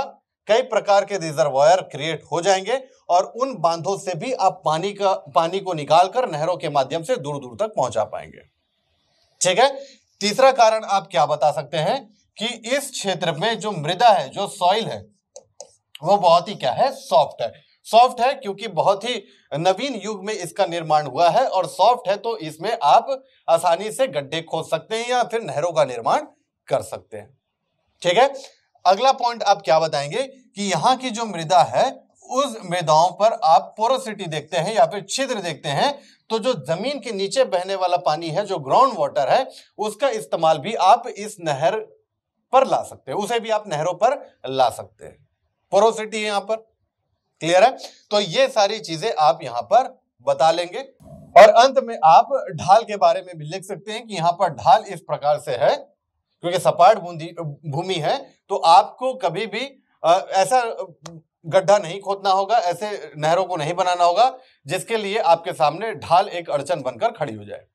तो सपाट भूमि है तो आप जहाँ चाहे, जैसे चाहे, आप नहर खोद सकते हैं, नहर की लाइन खींच सकते हैं। ठीक है? तो इन चार पाँच कारणों से हम उत्तरी मैदान पर सिंचाई के लिए उपयुक्त, या नहर से द्वारा सिंचाई के लिए उपयुक्त परिस्थिति देखते हैं। ठीक है? चलिए आगे बढ़ते हैं। फिर उसके बाद इरोजन को लेकर है। शीड इरोजन पर आपको बहुत ही कम मात्रा पर टॉप मोस्ट लेयर और सॉइल बहता हुआ दिखेगा। रील पर थोड़ा ज़्यादा और गुल्ली पर बहुत ज़्यादा इरोजन आपको देखने को मिलेगा। जो सॉइल का, जो लेयर है, वो बहुत ज़्यादा ही गुल्ली इरोजन पर चलाएगा। ठीक है? गुल्ली इरोजन मेनली किस पर डिपेंड होगा तो ये भी आप लिख लेंगे कि ये उस जगह पर भूमि का किस प्रकार से इस्तेमाल किया जा रहा है, उस पर डिपेंड करेगा। साथ ही साथ अगर वहाँ पर ढलान बहुत ज़्यादा है, स्लोप बहुत ज़्यादा है तो उस पर डिपेंड करेगा और फिर उसके बाद उस क्षेत्र की जलवायु पर भी ये निर्भर करता है। ठीक है? तो अगर कोई एक ऐसा क्षेत्र है जो पहाड़ी क्षेत्र है और वहाँ पर भूमि को लेकर जो यूसेज किया जा रहा है, वो प्लांट नहीं है और वहाँ पर बारिश बहुत होती है तो वहाँ पर आपको गुल्ली इरोजन देखने को मिल जाएगा। ठीक है? अब यहाँ पर आपको प्रश्न मिलता है फोर्थ पार्ट में ज्योग्राफी को लेकर। पार्ट टू से ही क्वेश्चन आएगा क्योंकि फोर्थ सेक्शन में दस नंबर का होगा 125 शब्दों में आपको लिखना होगा। ठीक है? Explain the relationship between forest type and climate तो देखिए, ये तो आप लोगों ने जब वेजिटेशन पढ़ा होगा, मैंने मोबाइल कोर्स में भी इसे समझाया था कि किसी भी क्षेत्र पर जो वनस्पति है, वो उस क्षेत्र के तापमान और वर्षा की मात्रा पर निर्भर करते हैं। ठीक है? अब हम भारत में अगर देखें तो तापमान लगभग लगभग लगभग एक जैसा ही होगा तापमान का वितरण, क्योंकि हम ट्रॉपिकल क्षेत्र पर रहते हैं उष्ण कटिबंधीय क्षेत्र पर रहते हैं। लेकिन जैसे जैसे वर्षा की मात्रा बदलती जाएगी वैसे वैसे वनस्पतियों के प्रकार भी बदलते जाएँगे। जैसे कि जिन क्षेत्रों पर वर्षा की मात्रा बहुत ज़्यादा है, लगभग 250 सेंटीमीटर के आसपास है, जैसे कि पश्चिमी घाट का पश्चिमी क्षेत्र या उत्तर पूर्वी पहाड़ियाँ, वहाँ पर हमें सदाबहार वनस्पति देखने को मिलते हैं, क्योंकि वहाँ पर पर्याप्त मात्रा पर पानी है। देखिए, फोटोसिंथेसिस प्रोसेस के बारे में आपको पता होगा, पानी और सनलाइट चाहिए। तो सनलाइट मतलब टेम्परेचर पानी मतलब रेनफॉल, ठीक है? तो ये दो चीज़ क्या होंगे, किसी भी वनस्पति के उगने के लिए, विकसित होने के लिए बहुत ही ज़रूरी है, एक प्रकार का खाना है ये वेजिटेशन के लिए। तो जहाँ पर खाना ज़्यादा होगा, वहाँ पर आपको विकास और वृद्धि बहुत ज़्यादा देखने को मिलेगी। तो जहाँ पर रेनफॉल बहुत ज़्यादा, क्योंकि टेम्परेचर तो लगभग लगभग कांस्टेंट है हॉरिजॉन्टल डिस्ट्रीब्यूशन लेकिन जहाँ पर रेनफॉल बहुत ज़्यादा होगा, वहाँ पर आपको सदाबहारी वृक्ष या वनस्पति देखने को मिलेंगे। ऊँचे ऊँचे वृक्ष होंगे, साठ मीटर का एवरेज हाइट होगा, बहुत ही मोटे होंगे, तगड़े होंगे, कठोर होंगे, लेकिन वाणिज्यिक महत्व नहीं होगा। क्योंकि इतने कठोर हैं कि आप जितना इसको काटने में मेहनत करेंगे कॉस्ट लगाएँगे तो उतना आपको रिटर्न मिलेगा नहीं। फिर जहाँ पर रेनफॉल थोड़ा सा कम होगा यही पश्चिमी घाट वाले क्षेत्र पर तो आपको अर्ध सदाबहारी वृक्ष देखने को मिलेंगे। वर्षा का मात्रा थोड़ा और कम होगा तो पर्णपाती वृक्ष देखने को मिलेंगे, जो साल भर में किसी एक आध महीने के लिए अपने पत्तियों को छोड़ देंगे। अब ये मॉइस्ट डेसिडियस भी इसे कहा जाता है। फिर वर्षा की मात्रा थोड़ी और कम होगी या फिर आप प्रायद्वीपीय भारत के मैक्सिमम पार्ट पर अगर आप कहें तो आपको शुष्क पर्णपाती वनस्पति देखने को मिलेगा, क्योंकि वहाँ पर पानी और कम है। लगभग 100 सेंटीमीटर के आसपास आप आ गए हैं।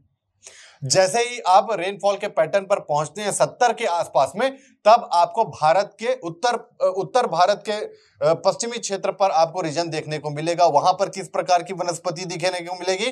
तो वहाँ पर आपको कटीले दे, वनस्पति देखने को मिलेगी।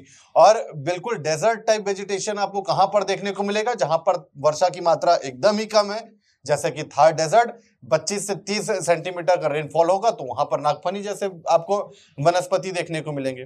तो इस तरह से आप टेम्परेचर एंड रेनफॉल के डिस्ट्रीब्यूशन के थ्रू पर डिफरेंट टाइप्स ऑफ़ वेजिटेशन के डिस्ट्रीब्यूशन को आप इंडिया में समझा सकते हैं। क्लियर है? चलिए, आगे बढ़ते हैं। उसके बाद का जो क्वेश्चन है, बहुत ज़्यादा एनालिटिकल है। Evaluate the poverty alleviation programme of government of India तो ये मैं शुरू से कहता आ रहा हूँ कि गरीबी बेरोजगारी पढ़ना है।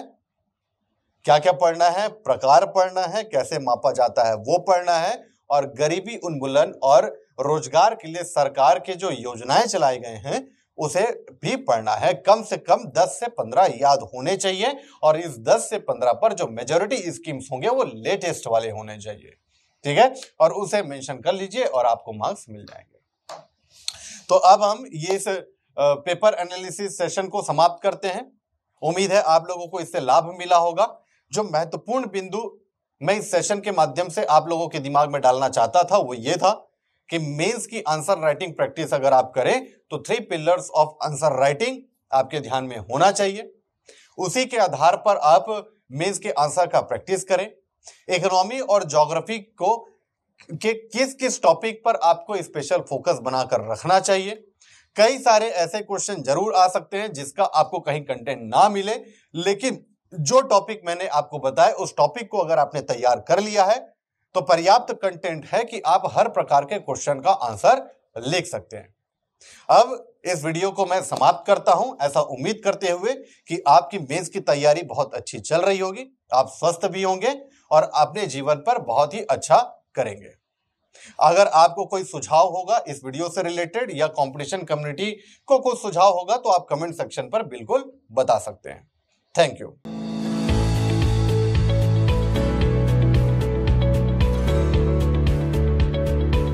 सीजीपीएससी की संपूर्ण तैयारी के लिए कंपटीशन कम्युनिटी के यूट्यूब चैनल को सब्सक्राइब कीजिए और डेली अपडेट्स के लिए बेल आइकन को प्रेस करना ना भूलें।